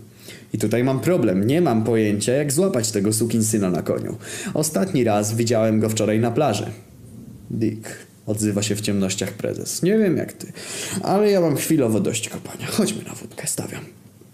Nie daje się długo prosić. No i siedzimy przy stoliku w przydrożnym barze. Na ruszcie opala się zamówiony przez prezesa baran. Tymczasem pijemy rakije i w miarę picia dochodzę do wniosku, że zbyt pochopnie Gruwasowi wystawiłem złą opinię. Prezes to jest równy gość, tylko życie miał ciężkie. No i obecnie jest na maksa pogięty. Proszę ja ciebie, kurwa, Diku. Czy ty myślisz, że ja zawsze byłem takim zgryźliwym bucem jak teraz? Ależ panie prezesie. No więc prawda jest taka, że nie urodziłem się bucem. Bucowatość, że tak powiem, jest moją cechą wtórną i nabytą. A do tego, że obecnie jestem skurwysyjskim bucem, ewidentnie przyczyniła się prezesina oraz miłosne niepowodzenia młodości. Wypijmy, Dick, za młodość. Pijemy, odkładamy kieliszki na blat stołu, prezes przesuwa cielsko na krześle i kontynuuje przerwany wątek. Dick, gdy mówię o miłosnych niepowodzeniach młodości, mam na myśli to, że za młodo nie potrafiłem sobie znaleźć dziewczyny. Z tego powodu aż do czterdziestki byłem kurwa Dick prawiczkiem. Tobie Jebako, z tym twoim nikiem. Pewnie się w głowie nie myśli, co? No ile już panienek posunąłeś? Chrząkam dyplomatycznie i gestem dłoni przywołuję właściciela zajazdu, żeby nam nalał rakii. Ja mam nadzieję, że w ten sposób przerwę niewygodny dla siebie temat. Pijemy kolejną porcję wódki, zakąszamy udem barana, ale te moje wybiegi nie są w stanie zbić z pantałyku prezesa. No Dick, zaspokój moją niezdrową ciekawość. Ile miałeś już panienek? Dziesięć? Mało co? O sukin kocie, dwadzieścia? Kurna, mógłby skłamać. Znam bez liku frajerów, co to bez opamiętania fantazjują na temat tego, ile to mieli panienek, ale kłamstwo nie popłaca, więc walę prawdą prosto między świńskie oczka prezesa. Jestem jeszcze prawiczkiem. Dick, nie wierzę. Poważnie. Prezes się rozpromienia. Kurwa, jakżeż te pismaki w gazetach fałszują statystyki na temat seksualnej inicjacji młodzieży. Człowiek po lekturze takich artykułów godzinami nie może spać, bo myśli sobie o własnej niedojebanej przeszłości. A tu proszę, nasz wielki Dick, symbol nieokiełznanej seksualności ciągle jest prawiczkiem. Przybij piątkę. Kurwa, Dick, ale mi poprawiłeś humor. No i w ten sposób miło sobie gaworzymy z prezesem, jednocześnie popijając rakiję raz za razem, raz za razem, raz za razem. No i się nawaliliśmy jak dwa Messerschmitty. Dyk, bełkocze prezes, ja już kurwa mam dość. A ty? Panie prezesie, też jestem gotów. No to kurwa, bierzemy dupy w troki i podtrzymując się z bratani uściskiem za kosami wracamy na pole namiotowe. Gdzieś tak w połowie drogi prezes zatrzymuje się, odchyla w tył, wyjmuje z kieszeni chusteczkę i zamaszystym ruchem wyciera prawe oko. Panie prezesie, mam mrocze, zatyczając się wokół grubasa, dlaczego pan płacze? O kurwa, Dick się rozczuliłem. Wyobraź sobie, że od czasu, gdy zostałem panem Bucem, nie miałem okazji z nikim się zbratać, tak jak to ma miejsce obecnie z tobą. Tik, daj, pyska. No i na poboczu drogi dajemy sobie braterskiego pyska. Dick, kurwa, chciałbym mieć takiego syna jak ty. E tam, panie prezesie, mam pana Alicję. Prezes wykonuje gwałtowne machnięcie prawą ręką. To powoduje, że traci równowagę i ładuje się do rowu. Kiedy w końcu udaje mi się go podnieść na nogi, słyszę z jego ust wyznanie. Ty kurwa. Alicja tak naprawdę nie jest moją córką. To skutek uboczny skoku w bok prezesiny. Mimo tego, że jestem pijany w trupa, szczęka opada mi do ziemi. A kto jest jej ojcem? Też bym chciał wiedzieć, bo wydałem na skurwysyna przed laty wyrok śmierci, który do dzisiaj nie został wykopany. Dick. Jeszcze, chodźcie jeszcze, trochę pokopiemy. Takie kopanie grobu moim śmiertelnym przeciwnikom strasznie mnie uspokaja. Skręcamy gwałtownie w prawo, następnie skrótem przez las podążamy na wydmę. Na miejscu wyciągamy z krzaków ukryte łopaty i dla uspokojenia nerwów kopiemy grób. Nie trwa to zbyt długo. Dobra, Dick, mówi prezes po pięciu minutach. Już, już się uspokoję. Możemy wracać na pole namiotowe. Zarzucamy łopaty na ramię i drapiemy się pod górę na nasyp kolejowy, który oddziela kempik od wydm. Kurna, po pijaku taki nasyp to prawdziwe alpinistyczne wyzwanie. Dick, dyszy prezes, gdy w końcu po wspinaczce stajemy między kolejowymi szynami na szczycie nasypu. Popatrz, czy mi się kurwa wydaje, czy też mój omylny i pijany wzrok widzi przed twoim namiotem konia, na którego wsiada gość z pióropuszem na głowie. Podążam wzrokiem za spojrzeniem prezesa i rzeczywiście coś na wzór konia plus Indianina czai się w wirującym mi przed oczami polu namiotowym. Biegnijmy! Bełkocze. Dopadniemy z suki syna. I z łopatami w ręku, za kosami biegniemy w stronę pola. Wypadamy i kurna nie ma ani konia, ani Indianina. Dick, mówi, zataczając się prezes, siadaj do samochodu. Daleko na tym swoim koniku nie ujechał. Tak więc, jak to miałem okazję zauważyć na samym początku, siedzimy z prezesem w jego Toyocie. Jest noc ciemna, a my jesteśmy uwaleni w cztery dupy. Pijani w sztok. Dick, mam roczy prezes, mały problem. Co się stało? Bełkocze. Odpowiedzi pijany prezes w ciemnościach przesuwa ręce z prawa na lewo i z powrotem. Kurwa Dick, ktoś ukrał kierownicę. Z wrażenia urywa mi się film. Musiałem stracić przytomność na kilka godzin, bo teraz już jest jasno. Otwieram lewe oko. Kurna, jaką ja mam ciężką powiekę. Nie mam siły, żeby podnieść drugą. Więc tylko gapię się jednym okiem i co widzę? Siedzę w samochodzie. Na moim ramieniu spoczywa głowa prezesa, no i wszystko się wyjaśnia. Już wiadomo, dlaczego Grubas nie mógł odnaleźć kierownicy. Siedzimy na tylnej kanapie dla pasażerów. Leżymy z prezesem na plaży w pewnym oddaleniu od reszty grupy. Na leżaczkach, skacowani, wyglądamy jak śnięte ryby, które wyrzuciło morze, ale nie jest źle. Powoli dochodzimy do siebie. Prezes kupił browar i sobie tankujemy pod parasolem. Dick, mówi mój nowy przyjaciel, patrząc na laskę w bikini, która nieopodal liże loda.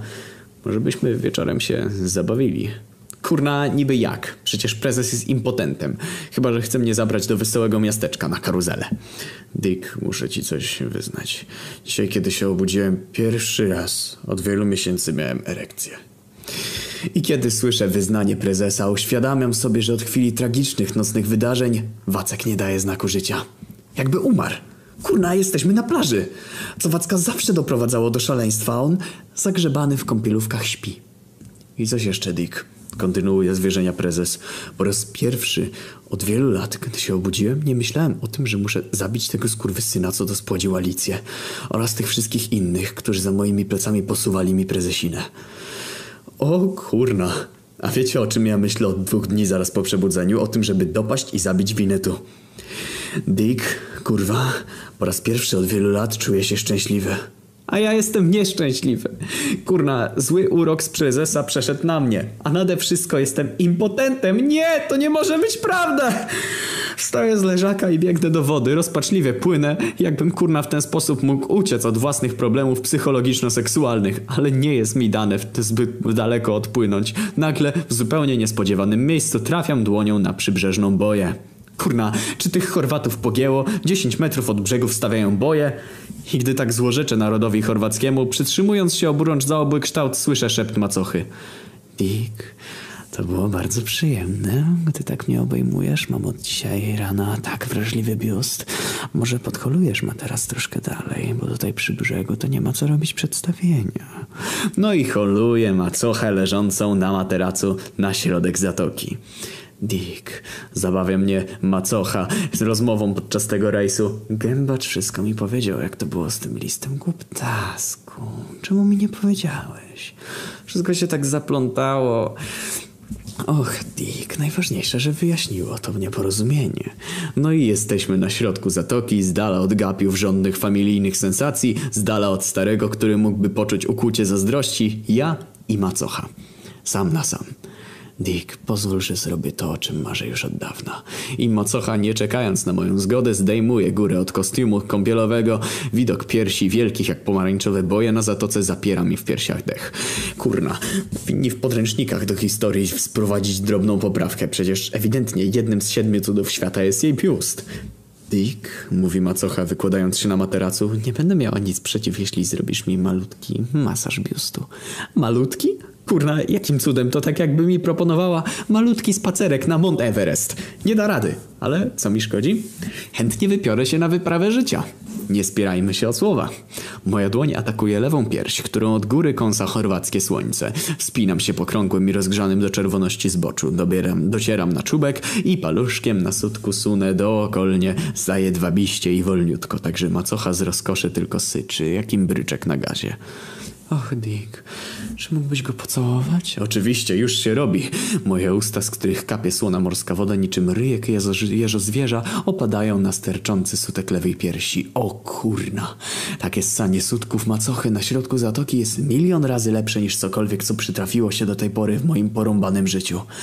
Dick, szepcze macocha, czy widzisz tę wysypkę na horyzoncie? Może byśmy tam popłynęli? Wysepka na horyzoncie to prawdziwy raj.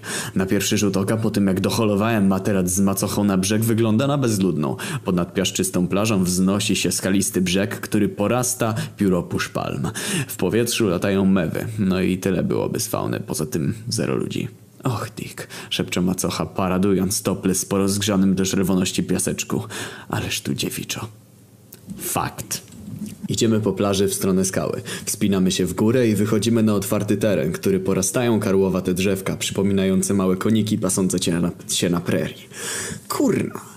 Spoko mogliby tu naklęcić film przyrodniczy. No, albo erotyczny.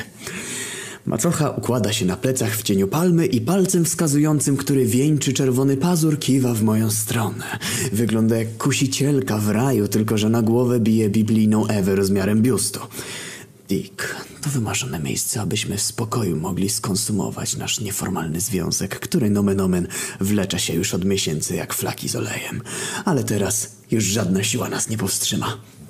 Przysiadam obok macochy i niczym przyrodnik amator sięgam w dół, aby na łonie natury zdjąć z niej figi.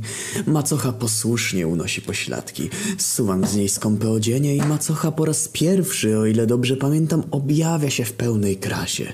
Goluteńka i na wyciągnięcie ręki, do tego podniecona jak kotka na rozgrzanym do czerwoności blaszanym dachu. Dick, możesz sobie podarować grę wstępną.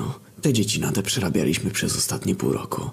W chwili obecnej interesuje mnie tylko hardcore, więc bądź tak miły i kurwa zdejmij te swoje kąpielówki. Do dzieła. W tej chwili pewnie wielu z was, znając siłę fatum, które podąża za mną niczym skradający się Indianin, bystro zauważy, że znowu dałem ciała. Otóż cała kolekcja prezerwatyw, którą zapobiegawczo noszę ze sobą, zostawiłem na brzegu, po drugiej stronie zatoki. Ale nie o to chodzi. Dick, zrzucaj te swoje majtedały i nie przejmuj się gumkami. Dzisiaj masz okazję zakosztować swoją macochę w bezpłodnym sosie własnym. Więc kurna o co chodzi? O to, że mój wacek w kąpielówkach skurczył się do rozmiarów ziarnka grochu. Gdyby mi teraz zrobiono inwentaryzację w majtkach, nawet by go nie wpisano do arkusza. Taki jest mały. Dick? Unosi się goluteńka macocha na łokciach, co powoduje, że jej biust XXXL przesuwa się z prawa na lewo i z powrotem jak dwa wagony na bocznicy. Dick, co się dzieje? I gdy macocha tak mnie indaguje ponad jej głową wśród małych drzewek, które przypominają małe koniki na prerii, zauważam prawdziwego konia. Właty. Stoi i sukinsyn gapi się w moją stronę. Dick? Słyszę za plecami głos macochy. Gdzie ty biegniesz? Nie mam czasu, żeby jej odpowiedzieć. Biegnę w stronę indiańskiego konika, który niestety widząc mnie dalej dyla w bok.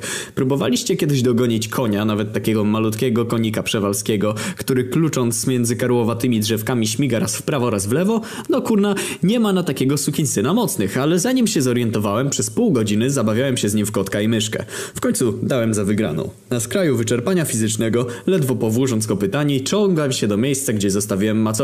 Na szczęście ciągle tam jest, ale już ubrana w strój kąpielowy i, i w jej włosach zauważam zsunięte ptasie pióro. Takie samo jak w pióropuszu Winetu. Co to jest? Pióro. Skąd ono się tam wzięło? Dick, śmieje się macocha. A jakie ma to znaczenie? Po prostu znalazłam je w trawie i wpięłam we włosy. Wpatruję się w kłamliwe oczy macochy i z zapałem wariata szukam na jej nieprawdy. Nie wierzę. To jest pióro z pióropusza Winetu. A tam, pokazuje dłonią w stronę prerii, stoi jego koń? Gdzie on jest? Zabiję sukinsyna! Oczy macochy robią się wielkie jak spodeczki. Dick, czy ty się dobrze czujesz? Jaki Winetu? Szczerze mówiąc, kurna, nie czuję się najlepiej. Nie czuję się najlepiej. Czas się do tego przyznać. Mam koszmary senne i halucynacje na jawie. A wszystko za sprawą Winetu. W chwili obecnej siedzę na plaży za polem namiotowym i patrzę się w siną dal. Na rajską wyspę, gdzie okazało się, że mi wacek nie staje. Muszę sukinsyna złapać albo udać się na dłu- długotrwałą psychoterapię wspomaganą elektrowstrząsami. Czuję, że całym sercem skłaniam się do tej pierwszej możliwości. Oczami wyobraźni już widzę uroczysty tytuł posta na blogu. Winetu nie żyje. Msza żałobna, obecność obowiązkowa. Po pogrzebie zapraszam na imprezę, stawiam. Radosny Dick. I gdy tak się wkręcam w temat, za pleców słyszę ostrożne kroki. Jakby ktoś szurał mokasynami na piasku. W jednej chwili włosy stają mi dęba. Wyjmuję finkę i jednym ruchem ciała, niczym Tom Cruise w Mission Impossible, odwracam się w stronę wroga. Kurwa, Dick, ocipiałeś? Mówi gębacz robiąc krok w tył. Przychodzę do ciebie z gałązką oliwną w dłoni, a ty na mnie z finką. Sorry, mówię, chowając nóż do pochwy.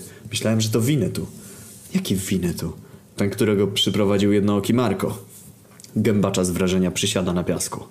Dick, o czym ty gadasz? Gębacz, nie udawaj, że masz amnezję. Marko przyprowadził na plażę dublera Winetu z filmu, który Niemcy kręcili tu przed laty. Dick, kurwa, nie przerażaj mnie. Nie było żadnego Winetu, był tylko jednooki Marko. Dał ci kopertę, w której był rachunek za nasz pobyt. Miałeś go dostarczyć macosze. Nie wiem jak to zrobiłeś, ale koperty ci się porybały. Rachunek dałeś Alicji, a mój list trafił do macochy. Patrzę na gębacza i kurna, wiecie co myślę? Że sukinsyn Winetu skaptował go na swoją stronę. Jeszcze chwila i powie mi, że Alicja jest ciągle dziewicą.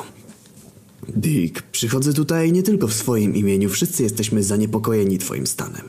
Szczególnie Alicja. A nie mówiłem? Alicja, proszę nie wypowiadaj przy mnie tego imienia, bo dostaję nerwicowej gęsiej skórki. Dick, powinieneś z nią porozmawiać. Niby o czym? O swoim problemie? O Winetu? Chcesz powiedzieć, że w swojej podróżnej biblioteczce ma poradnik pod tytułem Jak zabić Indianina 10 użytecznych rad dla złotodziobów? Dick, kurwa, daj sobie spokój z Winetu. Alicja jest przekonana, że jesteś chory na tak zwany syndrom niechcianego rozprawiczenia. Tak. Bardzo ciekawe. Pierwszy raz słyszę o takiej chorobie, niby jak ona się objawia. Podpuszczam gębacza. Halucynacjami, panicznym lękiem przed pierwszym stosunkiem oraz okresowymi atakami impotencji. Czuję, że zaschło mi w gardle. Trzeba przyznać, że Winetu dobrał sobie profesjonalne grono mącicieli wody. Ale kurna, nie ze mną te numery. Postanawiam zabawić się w Konrada Wallenroda. Będę udawał głupa po to, aby dostać się do obozu nieprzyjaciół. Może w ten sposób uda mi się zbliżyć do śmiertelnego wroga. Kurna, gębacz. Wydaje mi się, że masz rację. Chyba rzeczywiście mam ten syndrom. Jest na to jakieś lekarstwo? Gębacz uśmiecha się jak lekarz, który po długotrwałym leczeniu wyprowadził pacjenta na prostą. Zakłamany but przyjacielsko poklepuje mnie ręką po plecach. Cieszę się, Dick, że tak to przyjmujesz. Jesteś bardzo dzielny. Kurna, powie jeszcze jedno słowo i mu przypierniczę. A jeśli chodzi o lekarstwo, to Alicja jest gotowa podjąć się leczenia. W każdej chwili może przyjść do twojego namiotu. Co? Okej. Co mi tam? Niech przyjdzie i mnie zbada. Przekaż jej, że będę czekał dzisiaj w nocy, mówię. Jednocześnie knuję tajemny plan, w którym wszystkich wyprowadzę w pole, by ostatecznie dopaść pana Winetu, niechybnie podążającego na swoim koniu do krainy cieni. Gębacz mruży oczy, wspiera głowę na dłoni jak Adam Mickiewicz na krakowskim rynku i z wyrazem zamyślenia na twarzy mówi Dick. Myślę, że przed spotkaniem z Alicją powinieneś przestać myśleć o... wiesz kim. Winetu? Dokładnie. Moim zdaniem zawiesiłeś jak komputer pracujący na Windowsach. Moim, na, masz krytyczny wyjątek w swojej głowie w postaci tego Winetu. Dlatego powinieneś się zresetować. Tak? A niby gdzie mam przycisk resetowania? Dick. Przerabialiśmy to już z Alicją i to z dobrym skutkiem. Mogę cię zresetować za pomocą hipnozy. Włosy stają mi dęba. Gębacz, Chcesz mnie zahipnotyzować? W celach leczniczych. Patrzę na gębacza i myślę, że kurna, czemu nie? Niech mnie hipnotyzuje, udam, że jestem w transie hipnotycznym i może coś z niego wyciągnę na temat winetu. Dobra, gębacz. Hipnotyzuj, tylko pod jednym warunkiem, kurna, nie wybudzaj mnie tak, jak to zrobiłeś przez Zesinie. Wiesz o czym mówię. Nie chcę, żebyś później obwoził się po całej Europie z moim włosem łonowym. Gębacz spuszcza zawstydzone oczy, a jego twarz robi się czerwona. Ha, kurna, a nie mówiłem. Gębacz też należy do tej bandy czerwonoskórych. Raz, dwa, trzy. Co za psychopatologiczny absurd. Oczywiście nie było żadnego winetu. To tylko wymysł mojej chorej wyobraźni. W związku z tym mój Wacek jest wielki jak maczuga Herkulesa. Twardy jak szyna kolejowa i niezawodny jak James Bond. Puk, puk. Kto tam? Pytam. To ja. Alicja. Słyszę szept z drugiej strony namiotu. O, bardzo proszę wejść do środka. Z mroku nocy do jeszcze ciemniejszego wnętrza namiotu wsuwa się jej ciało. Czuję, że skropiła się wodą kwiatową o nazwie Virgin. Ten zapach powoduje, że poziom testosteronu w mojej krwi wzrasta do niebotycznej wartości 100%. Czyli, co by nie gadać, powoduje, że jestem stuprocentowym facetem. Macho. Dick, zaczyna szeptać Alicja, wtulając się w moją pierś, która w związku z zawartością testosteronu w mojej krwi porasta gęstym czarnym włosem. Wybacz mi, że wtedy, jak ostatnia idiotka, zasnęłam na plaży i nie przyszłam do ciebie. Ale dzisiaj jestem i chciałabym ci tamtą noc podwójnie wynagrodzić. Nic nie szkodzi, Alicjo. Dzięki temu doświadczeniu poznałem kilka ciekawych, ciekawych demonów w mojej głowie oraz doświadczyłem, czym jest męska niemoc. Z całą pewnością ta lekcja pokory udzielona mi przez los przyda mi się w przyszłości. Ale teraz jest już wszystko w porządku. Jak najbardziej. Aby nie pozostać gołosłownym, rozpinam rozporek i wciskam w dłoń Alicji sterczącego wacka. Och, ależ on jest wielki, to prawdziwa maczuga Herkulesa. Jaki twardy, jak szyna kolejowa. Och, Dick, włóż we mnie tego swojego Jamesa Bonda. Chcę natychmiast przeżyć przygody życia. Nie pozostaje głuchy na namiętny szept miękkiej jak wosk Alicji. Układam ją na plecach, zdzieram z niej perkalową sukieneczkę, wysłupuję ze stringów i rozpoczynam przygodę od małego palca jej stopy. Dotykam go końcem języka i powolutku, tak jak poleca to szlachetny Vatsjayana Malanga, autor Kamasutry, sunę w górę wewnętrzną stroną nogi. Kiedy jestem na wysokości uda, do moich uszu dociera jęk Alicji, która już na tym wstępnym etapie pieszczot dostaje pierwszego orgazmu. A przecież to dopiero początek. Chwilę później końcem języka wdzieram się na wzgórze łonowe. Alicja wypręża się jak struna w fortepianie, oczekując, że ześlizgnę się ocal niżej, ale ja pozostaję niewzruszony. Prawdziwy macho nigdy nie robi tego językiem, dlatego zmieniam pozycję. Ustawiam się z Wackiem wielkim jak machczuga Herkulesa na wprost celu. Precyzyjnie niczym James Bond ze swojego rewolweru kaliber 45 mierzę w dziesiątkę i naciskam spust. Nie, kurna, wróć. Ustawiam się z Wackiem wielkim jak makczuga Herkulesa na wprost celu, precyzyjnie niczym James Bond ze swojego rewolweru kaliber 45 mierzę w dziesiątkę i twardym jak stal. Członkiem wbijam się w szeroko otwartą Alicję. Och, Dick. Zaraz za progiem jaskini rozkoszy wita mnie dziewiczy hymn pochwalny, który roznoszę taranem w dobry pył. Och, Dick. Wsuwam się głębiej, krok za krokiem, a przy każdym takim kroku w głąb miękka jak rozgrzany wosk Alicja krzyczy Och, Dick. i przeżywa orgazm za orgazmem. Będąc w połowie drogi naliczyłem ich już sześć, ale brnijmy dalej. Twar twardy jak stal Wacek dociera do końca jaskini rozkoszy, gdzie robi salto moratale, po czym spryciarz jakimś cudem w lewym narożniku trafia w punkt G. Jest dla niego bezlitosny, czubkiem maczki Herkulesa bezlitośnie go punktuje, a każdy jeden kolejny punkt to kolejny orgazm mięczącej Alicji. Och, Dick, och, Dick, och, Dick. I tak dalej, aż do znudzenia. I kiedy w końcu na liczniku orgazmów Alicji pojawia się liczba 100, wycofuję stalową lufę na brzeg jaskini rozkoszy. Ustawiam ją w progu, celuję w głąb i jak niezawodny agent 007, Bond, James Bond, opróżniam cały magazynek. Sześć wypełnionych milionami plemników kul trafia w cel. O wszystkim Alicja wygląda jak martwa. A ja, Dick, wel James Bond, przeładowuję magazynek. Jestem gotowy do następnej akcji na zlecenie jego królewskiej mości Wacława. I gdy tak leżę, Zastanawiając się, od której strony zacząć, gdzieś z prawej strony słyszę jakiś dziwny głos. Raz, dwa, trzy. Za chwilę klasnę w dłonie, to spowoduje Dick, że się wybudzisz z hipnozy. Po przebudzeniu zapomnisz, że istniał Winetu.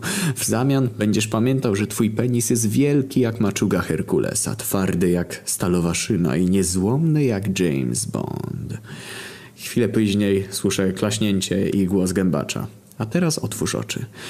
Trzeba przyznać, że gębacz ma smykałkę do hipnotyzowania, chyba po ojcu, który jest różdżkarzem.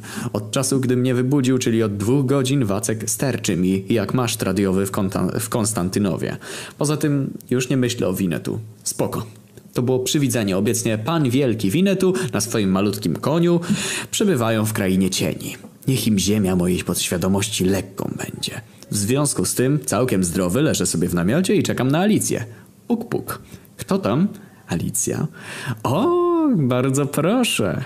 Z mroku jej nocy gibkie ciało przemieszcza się do wnętrza namiotu. Wchodząc, zamiast za metalową rurkę dłonią chwyta za twardego jak szyna kolejowa wacka. Przytrzymuje się, siada obok mnie i puszcza. Szkoda. Dick odzywa się w ciemnościach. Bardzo się cieszę, że skłaniasz się do mojej teorii. Chrząkam?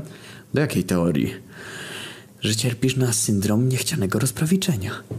Przesuwam w ciemnościach Wacka na prawo, żeby mi nie przeszkadzał w ewentualnej gestykulacji, po czym dyplomatycznie chrząkam po raz drugi. Myślisz, że jestem przekonana. Obserwuję twoje zachowania od początku naszej podróży i nie może być wątpliwości. Za wszelką cenę unikasz rozdziewiczenia. Pozornie lecisz na wszystkie kobiety. Ba, gotów byłbyś posunąć się nawet do tego, aby przelecieć dziurkę od klucza albo otwór po sęku. Ale tak naprawdę kombinujesz jak koń pod górę, żeby tylko pozostać prawiczkiem. Koń? Dlaczego ona mówi o koniach? To zwierzę mi się źle kojarzy. Nie chcę do tego wracać. Czy masz dla mnie jakąś propozycję? Czuję, że Alicja kładzie w ciemności na moim kolanie dłoń i przyjacielsko mnie poklepuje. W ramach towarzyskiego rewanżu w swoją wsuwam między jej nogi. Owszem, Dick, nie przychodzę tu z pustymi rękami. Nie wiem, czy zauważyłeś, ale ostatnio czytam Kamasudrę. Kurna, tak to jest z intelektualistkami. Trzymasz rękę w jej majtkach, ale ona tego nie zauważa, bo całą uwagę skupia na własnym gadaniu. Cała Alicja. Ale nie do końca, niestety. Dick, bądź tak łaskaw i wyjmij dłoń z mojej bielizny. Bądźmy poważni. Problem, który mamy rozwiązać, może zaciążyć na całej twojej przyszłości. Posłusznie, acz niechętnie spełniam życzenie. Jednocześnie przesuwam dłoń Alicji, która bezużytecznie poklipuje mi kolano. Na Wacka. Proszę, niech sobie tutaj klepie. Otóż szlachetny Watsjajana Malanga, autor Kamasutry, radzi, aby z dziewicą postępować delikatnie. Kurna, no bez jaj. Ja nie jestem dziewicą. Przerywam ten jałowy bełkot pseudointelektualisti z kozielwólki. Jestem prawiczkiem. To bez różnicy, Dick. Wiem, że- wiem, że twoja męska duma w tym momencie może zostać urażona. Ale uwierz mi, syndrom niechcianego rozprawiczenia to choroba podstępna jak złośliwy Indianin. Indianin! Kurna! Czuję jakby w tym jednym słówkie, słówku na, jedy, na literę I, na którą zaczyna się także słowo igła. Ukuła mnie w sam czubek Wacka. Dick, zaufaj mi i posłuchaj mojego mistrza Wacjajana Malangi. Otóż jego rada, która odnosi się do zarówno dziewic żeńskich, jak i męskich, mówi. Słuchaj, ten fragment znam na pamięć. Dziewice do kwiatów są podobne, dlatego nadzwyczaj delikatnie z nimi trzeba się obchodzić, bo gdy są zbyt gwałtownie traktowane przez tych, którzy jeszcze ich zaufania nie zdobyli, wtedy znienawidzą zespolenie. Czyż nie piękny Dick? Z zachwytu Wacek wydłużył mi się o kolejne 5 centymetrów. Ta, mówię, bardzo ładne. Ale czegoś tu nie rozumiem. Jaki jest związek między tym, co wyrecytowałaś, a moim syndromem? Zaraz się przekonasz. Tylko się rozbierz. Już jestem rozebrany. A, trochę się pospieszyłaś, ale bardzo dobrze. Teraz połóż się na plecach. Nie ma sprawy, już leżę i, i w ciemnościach nagle czuję, jakby po moim ciele maszerowały mrówki pod dowództwem szlachetnego Wacjajana Malangi. Na szczęście są to mrówki pokojowo nastawione. Idą krokiem spacerowym, powolutku, krok za kroczkiem, zajedwabiście przyjemnie. Czujesz? Pyta Alicja w ciemnościach. Czuję, czuję. Co to jest? To jest pieszczota końskiej grzywy, mówi Alicja. Mój zahipnotyzowany wacek kurczy się jak słupek rtęci w mroźną noc na biegunie północnym. Całą robotę gębaczach diabli wzięli. Znowu jest małe jak ziarenko groszku. Pieszczota końskiej grzywy! Deszczy z grozy z wacka przemieszcza mi się w górę, aż do głowy.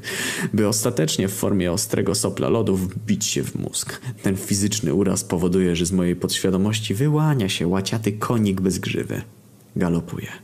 Wyciągam przed siebie dłoń i w ciemnościach dotykam przesuwające się po brzuchu włosy. Nie, to jakieś frędzle. Sięgam dłonią za siebie, w róg namiotu, tam gdzie trzymam finkę i latarkę. Z sercem w gardle świecę w dół i co widzę? Alicja pochylona nad moim brzuchem w ramach pieszczoty końskiej grzywy, koniuszkami włosów splecionych w indiańskie warkoczyki, pieści mnie nimi po skórze. Ze wstrętem ujmuję palce w warkoczyk. Co to jest? Alicja unosi głowę i kątem oka patrząc na swoje włosy mówi To jest dread. Nie wciskaj mi kitu. Przecież widzę, że to jest indiański warkoczyk. Sama go splotłaś? W brzemiennej ciszy, jaka zapadła po moim pytaniu, gdzieś z zewnątrz, jakby z zaświata, jakby z krainy cieni, a zarazem gdzieś bardzo blisko słyszę tupot końskich kopyt. Zgroza ścina mi krew w żyłach. Przyjechałeś na koniu? Wyduszam przez ściśnięte strachem gardło. Zamiast odpowiedzi Alicji słyszę głos z drugiej strony namiotu, który miesza się z parskaniem konia. Dick, śpisz? Uff, to głos prezesa. Nie, panie prezesie. To dobrze. Mam dla ciebie niespodziankę. Upolowałem czerwonego sukinkota. Co my tu mamy? Chwila, moment. Niech ja się dobrze przyjrzę. Prezes trzyma za uzdę konika, przez którego przewieszone są ludzkie zwłoki zwrócone twarzą do ziemi. Ja pierniczę. Kurna, niezła niespodzianka. Złapałem sukinsyna, mówi prezes. Wiesz, gdzie go capnąłem? Sukinkot podglądał macochę pod prysznicem przez lufcik. No nie, nie, w pale się nie mieści moją macochę. Robię krok do przodu, żeby przyjrzeć się czerwonoskóremu wy- zwyrodnialcowi i gdy tak się gapię, zauważam dojmujący brak. Nie ma pióropusza. Prezes macha ręką. Może sobie zdjął. Może, ale jest jeszcze jeden problem. Zwłoki ożywają. Niezbyt gwałtownie, ale ewidentnie. Łącznie z tym, że niedoszły nieboszczyk unosi głowę. Nie za wysoko, ale wystarczająco, abyśmy z prezesem mogli zauważyć, że na oku ma czarną przepaskę. Marko? Wypowiadamy jednym tchem. Jebana żyzn. Mruczy jednooki Marko, przykładając sobie dłoń do potylicy. Jakiś sukinsy zaszedł mnie od tyłu i dał mi po łbie. Co pan tu robi? Och, Dick, mówi Marko, zsuwając się z konia na ziemię. Duży by gadać. Ale e, sprawa w zasadzie jest prosta. E, Jak to wy Polacy mówicie? Jak drut. Dokładnie. Otóż po waszym wyjeździe uświadomiłem sobie, że przez próg mojego domu przestąpił anioł. Panie Marko, ile pan dzisiaj wypił rakii? No właśnie, ani kropli. Od czasu, gdy przez próg mojej chałupy przeszedł anioł, nie piję. Zamiast tego myślę o macosze. Prezes klepie go po plecach. Panie Marko, macosze to wszyscy myślą. Nie ma tu co gadać o aniołach i innych siłach niebieskich. Przecież sprawa sprowadza się do wielkości biustu. No i autentyczności, mówi Marko. To znaczy, czy są naturalne, czy z silikonu? Naturalne, wtrącam się do dyskusji. Trudno w to wprost uwierzyć, mówi prezes drapiąc się po głowie. Sto procent. Bronię honoru piersi macochy. Ręczę głową. Sto procent. Powtarza rozmarzonym głosem Marko. Anioł. Po prostu anioł. Gdy tak stoimy po rozgwieżdżonym nieboskłonem i rozmarzamy się coraz bardziej, nagle otwierają się drzwi umywalni. Ze środka bucha biała para. W progu staje wyprysznicowana macocha w szlafroczku po pół uda. Wydekoltowana i krokiem falisto, zajedwabistym po zielonej trawie idzie w naszą stronę jak uosobienie grzechu. Och, mówi potrząsając brzegiem szlafroczka, ależ gorąca noc. Zupełnie mi się nie chce spać. Co wy tu robicie z tym koniem? Zresztą, mniejsza z tym, może byśmy się gdzieś dzisiaj jeszcze zabawili. Szkoda marnować takiej pięknej nocy. Jest tu gdzieś klub go-go? Że też wcześniej nie zwróciłem na to uwagi. Chyba musiałem mieć zaćmę na oku, no bo kurna, powiedzcie mi, po co masosze był czarny neseser w klubie go-go? Co ona w nim mogłaby mieć? Składaną rurkę? No i jest jeszcze jedna niezgodność. Zajeżdżamy Toyotą prezesa do Splitu na ulicę Franco Tujmana 5. Taki adres podał jednooki Marko i co się okazuje, że to nie jest klub go-go, tylko klub karaoke. Wchodzimy do środka, gdzie na scenie produkują się ryczące czterdziestki, lądujemy w pełnym składzie ja, Macocha, Marko prezes przy barze i zaczynamy tankować. Kiedy jesteśmy przy czwartym piwku, gdzieś na obrzeżach mojej chwiejnej świadomości pojawia się gość, który wypisz, wymaluj przypomina pana Don Pedro z krainy deszczowców. Ale kurna, w tamtej chwili pomyślałem, że to przypadkowe podobieństwo fizjonomii. To był mój pierwszy błąd. Błędem było również to, że zabrałem się za piąte piwo, wypiłem je do dna. Po czym Marko postawił mi rakiję, którą również obaliłem bez zastanowienia, ku chwale ojczyzny. Ta ilość alkoholu spowodowała, że poczułem ogromną potrzebę zaśpiewania. W tym celu udałem się za kosami w stronę estrady, na którą wdrapałem się na czworaka. Następnie, za pomocą statywu od mikrofonu udało mi się pociągnąć do pionu. Wtedy właśnie stojąc na estradzie zauważyłem, że macocha siada przy stoliku obok pana Don Pedro. Z powodu wypitego alkoholu oraz tremy przed występem nie zwróciłem należytej uwagi na ten fakt. Zamiast tego przyłożyłem mikrofon do ust i w rytm płynącego z głośników przeboju Julio Iglesiasa zaśpiewałem Góralo czy ci nie żal? Mój popis wokalny równocześnie przerwał DJ, który odłączył mikrofon od wzmacniacza oraz ochroniarz, który małym palcem zdmuchnął mnie ze strady w stronę baru. Tam zamówiłem znowu piwo i z butelką piwa postanowiłem wyjść na zewnątrz, aby zaczerpnąć łyk świeżego powietrza. Tutaj urywa mi się film. Przebłysk świadomości mam około trzeciej nad ranem, gdy za ramię potrząsnął mną stary. Otwieram oko i okazuje się, że wegetuję dwa metry od wejścia do namiotu. Z butelką piwa w dłoni. Wsiadaj, Dick, do samochodu. Macocha znowu przepadła. No i tak zaczyna się nowy rozdział w moim życiu. Wpełzam do malucha i ruszamy. Z powrotem do splitu. Widziałeś gdzieś tu w okolicy klub Go-Go? Pyta stary. No kurna, nie będę wam zawracał głowy tym, w jaki sposób udało mi się go przekonać do tego, żeby zamiast do klubu Go-Go pojechać do klubu karaoke. Może warto jedynie nadmienić, że na koniec stary powiedział Kurwa, Dick, nie przypuszczałem, że zrobisz własnemu ojcu takie świństwo. Jak mogłeś z prezesem, Marko i macochą za moimi plecami w godzinach nocnych, gdy powinieneś spać w namiocie, szlajać się po knajpach? Jego pytanie zbyłem milczeniem, co było szczególnie uzasadnione tym, że właśnie zajechaliśmy pod wskazany przeze mnie adres. Ulica Franco Tujmana 5. Klub karaoke. Wysiadamy i krokiem zdecydowanym idziemy w stronę drzwi, na które pada anemiczne światło wschodzącego słońca. Kurna, szkoda, że nie jestem w nastroju, bo bym się pozachwycał. Bardzo to malowniczo wygląda. Na zamkniętych drzwiach wisi kartka z napisem closed. Dick, kurwa, wścieka się w stary. Przecież to jest klozet. No kurna, sami widzicie, że ze znajomością języków obcych u mojego starego to nie jest najlepiej. Nie zważam na pieniącego się ciemniaka u mojego ramienia, przez szybę zaglądam do środka, no i kurna, opłaca się tu moje lustrowanie zadymionych pomieszczeń po fajrancie. W środku na parkiecie zauważam barmankę, która o tej godzinie najwyraźniej robi tu za sprzątaczkę. Stukam dłonią w szybę. Dziewczyna z wrażenia wypuszcza z dłoni miotłę. A, to ty pijaku, mówię otwierając drzwi. Dobrze, że jesteś. W następnej chwili wyciąga kilka, e, z kieszeni kilka złożonych na czworo papierowych serwetek i wręcza mi je. Niby co mam z nimi zrobić? Otrzeć sobie pot z czoła? Dopiero po chwili zauważam, że serwetki są pokryte kulfoniastym pismem macochy. List macochy. W pierwszych słowach mojego listu powiem tyle, że interpunkcja i ortografia nigdy w szkole nie były moimi mocnymi stronami, więc nie będę stawiać tu tych głupich przecinków i nie będę przejmowała się tymi różnicami między Z a RZ. I tak zorientujesz się o co mi chodzi. No więc Dick, bardzo zawiodłam się na tobie i twoim ojcu. Jeśli chodzi o twojego ojca, to fiut zawiódł na całej linii. Zamiast zajmować się moim ciałem, biegał z wędką łowić głupie ryby. Natomiast ty, Dick, to jesteś osobny rozdział, którego zupełnie nie rozumiem. Nie mam pojęcia o co ci chodzi, masz chyba nierówno pod sufitem. W związku z tym wszystkim oraz w związku z moim poprzednim życiem, gdzie miałam sporo zawodów miłosnych w dniu dzisiejszym, postanowiłam rzucić wszystko w diabły. Jak ty to, Dick, mówisz, chromole to. I zaczynam wszystko od nowa. Żegnam. Macocha. Postscriptum. Dick, mam do ciebie na koniec jedną prośbę. Po powrocie do Polski obejrzyj mój ulubiony serial o Manuelu i Conchicie i napisz mi w liście, co się wydarzyło, jak byliśmy w Chorwacji. Umieram z ciekawości. No to kurna, już wiem, po co był jej ten czarny neseser. Muszę coś zrobić, muszę coś zrobić, powtarza stary i chodzi w kółko jak wskazówka zegara na wieży ratuszowej. Od chwili powrotu z Chorwacji goni w piętkę. Stary zatacza małe i duże kółka.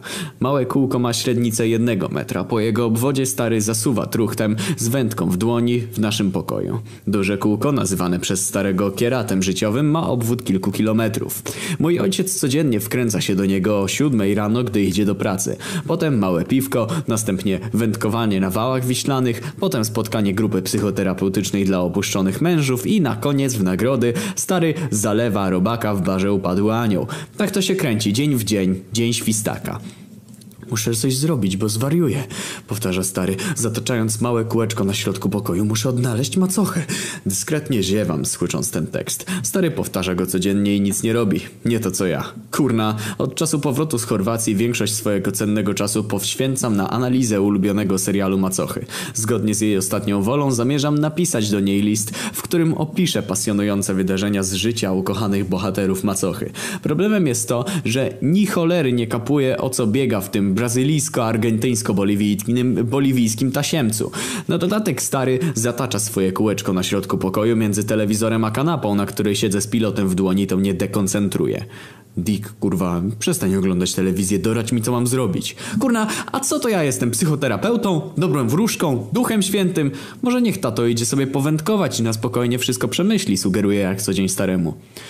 Masz, masz rację, Dick, mówi zatrzymując się na środku pokoju. Muszę to wszystko na spokojnie przemyśleć, a później podczas spotkania opuszczonych mężów skonsultuję swoje przemyślenia z kolegami.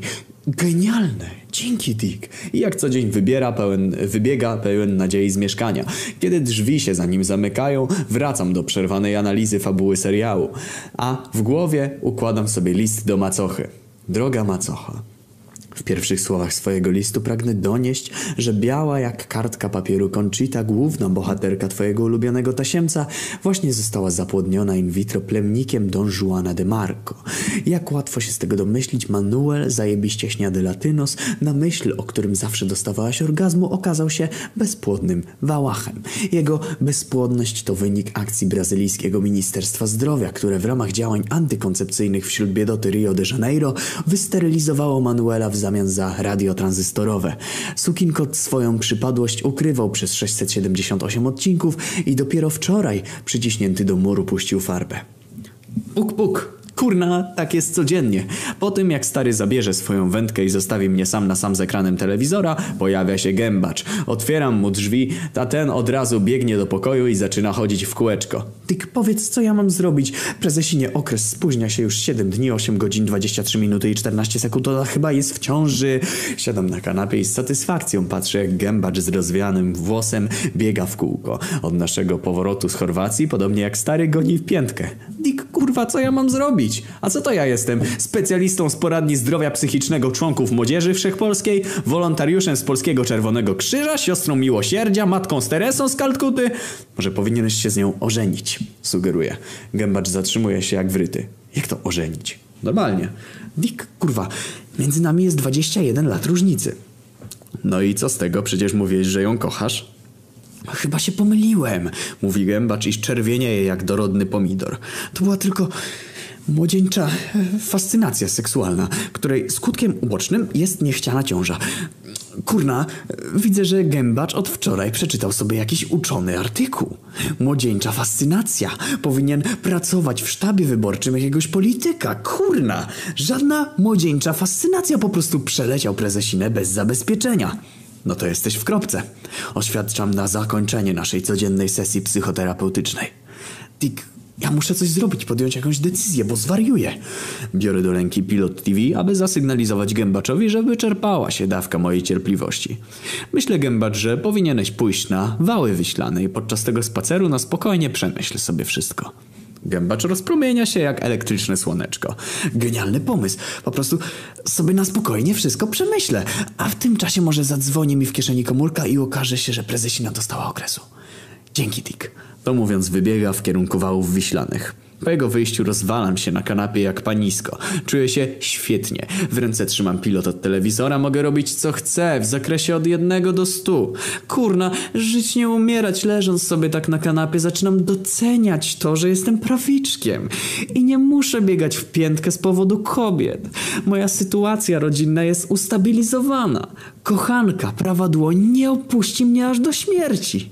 No i kurna, z całą pewnością nie zajdzie w ciążę. Może tylko napisać ten list do macochy.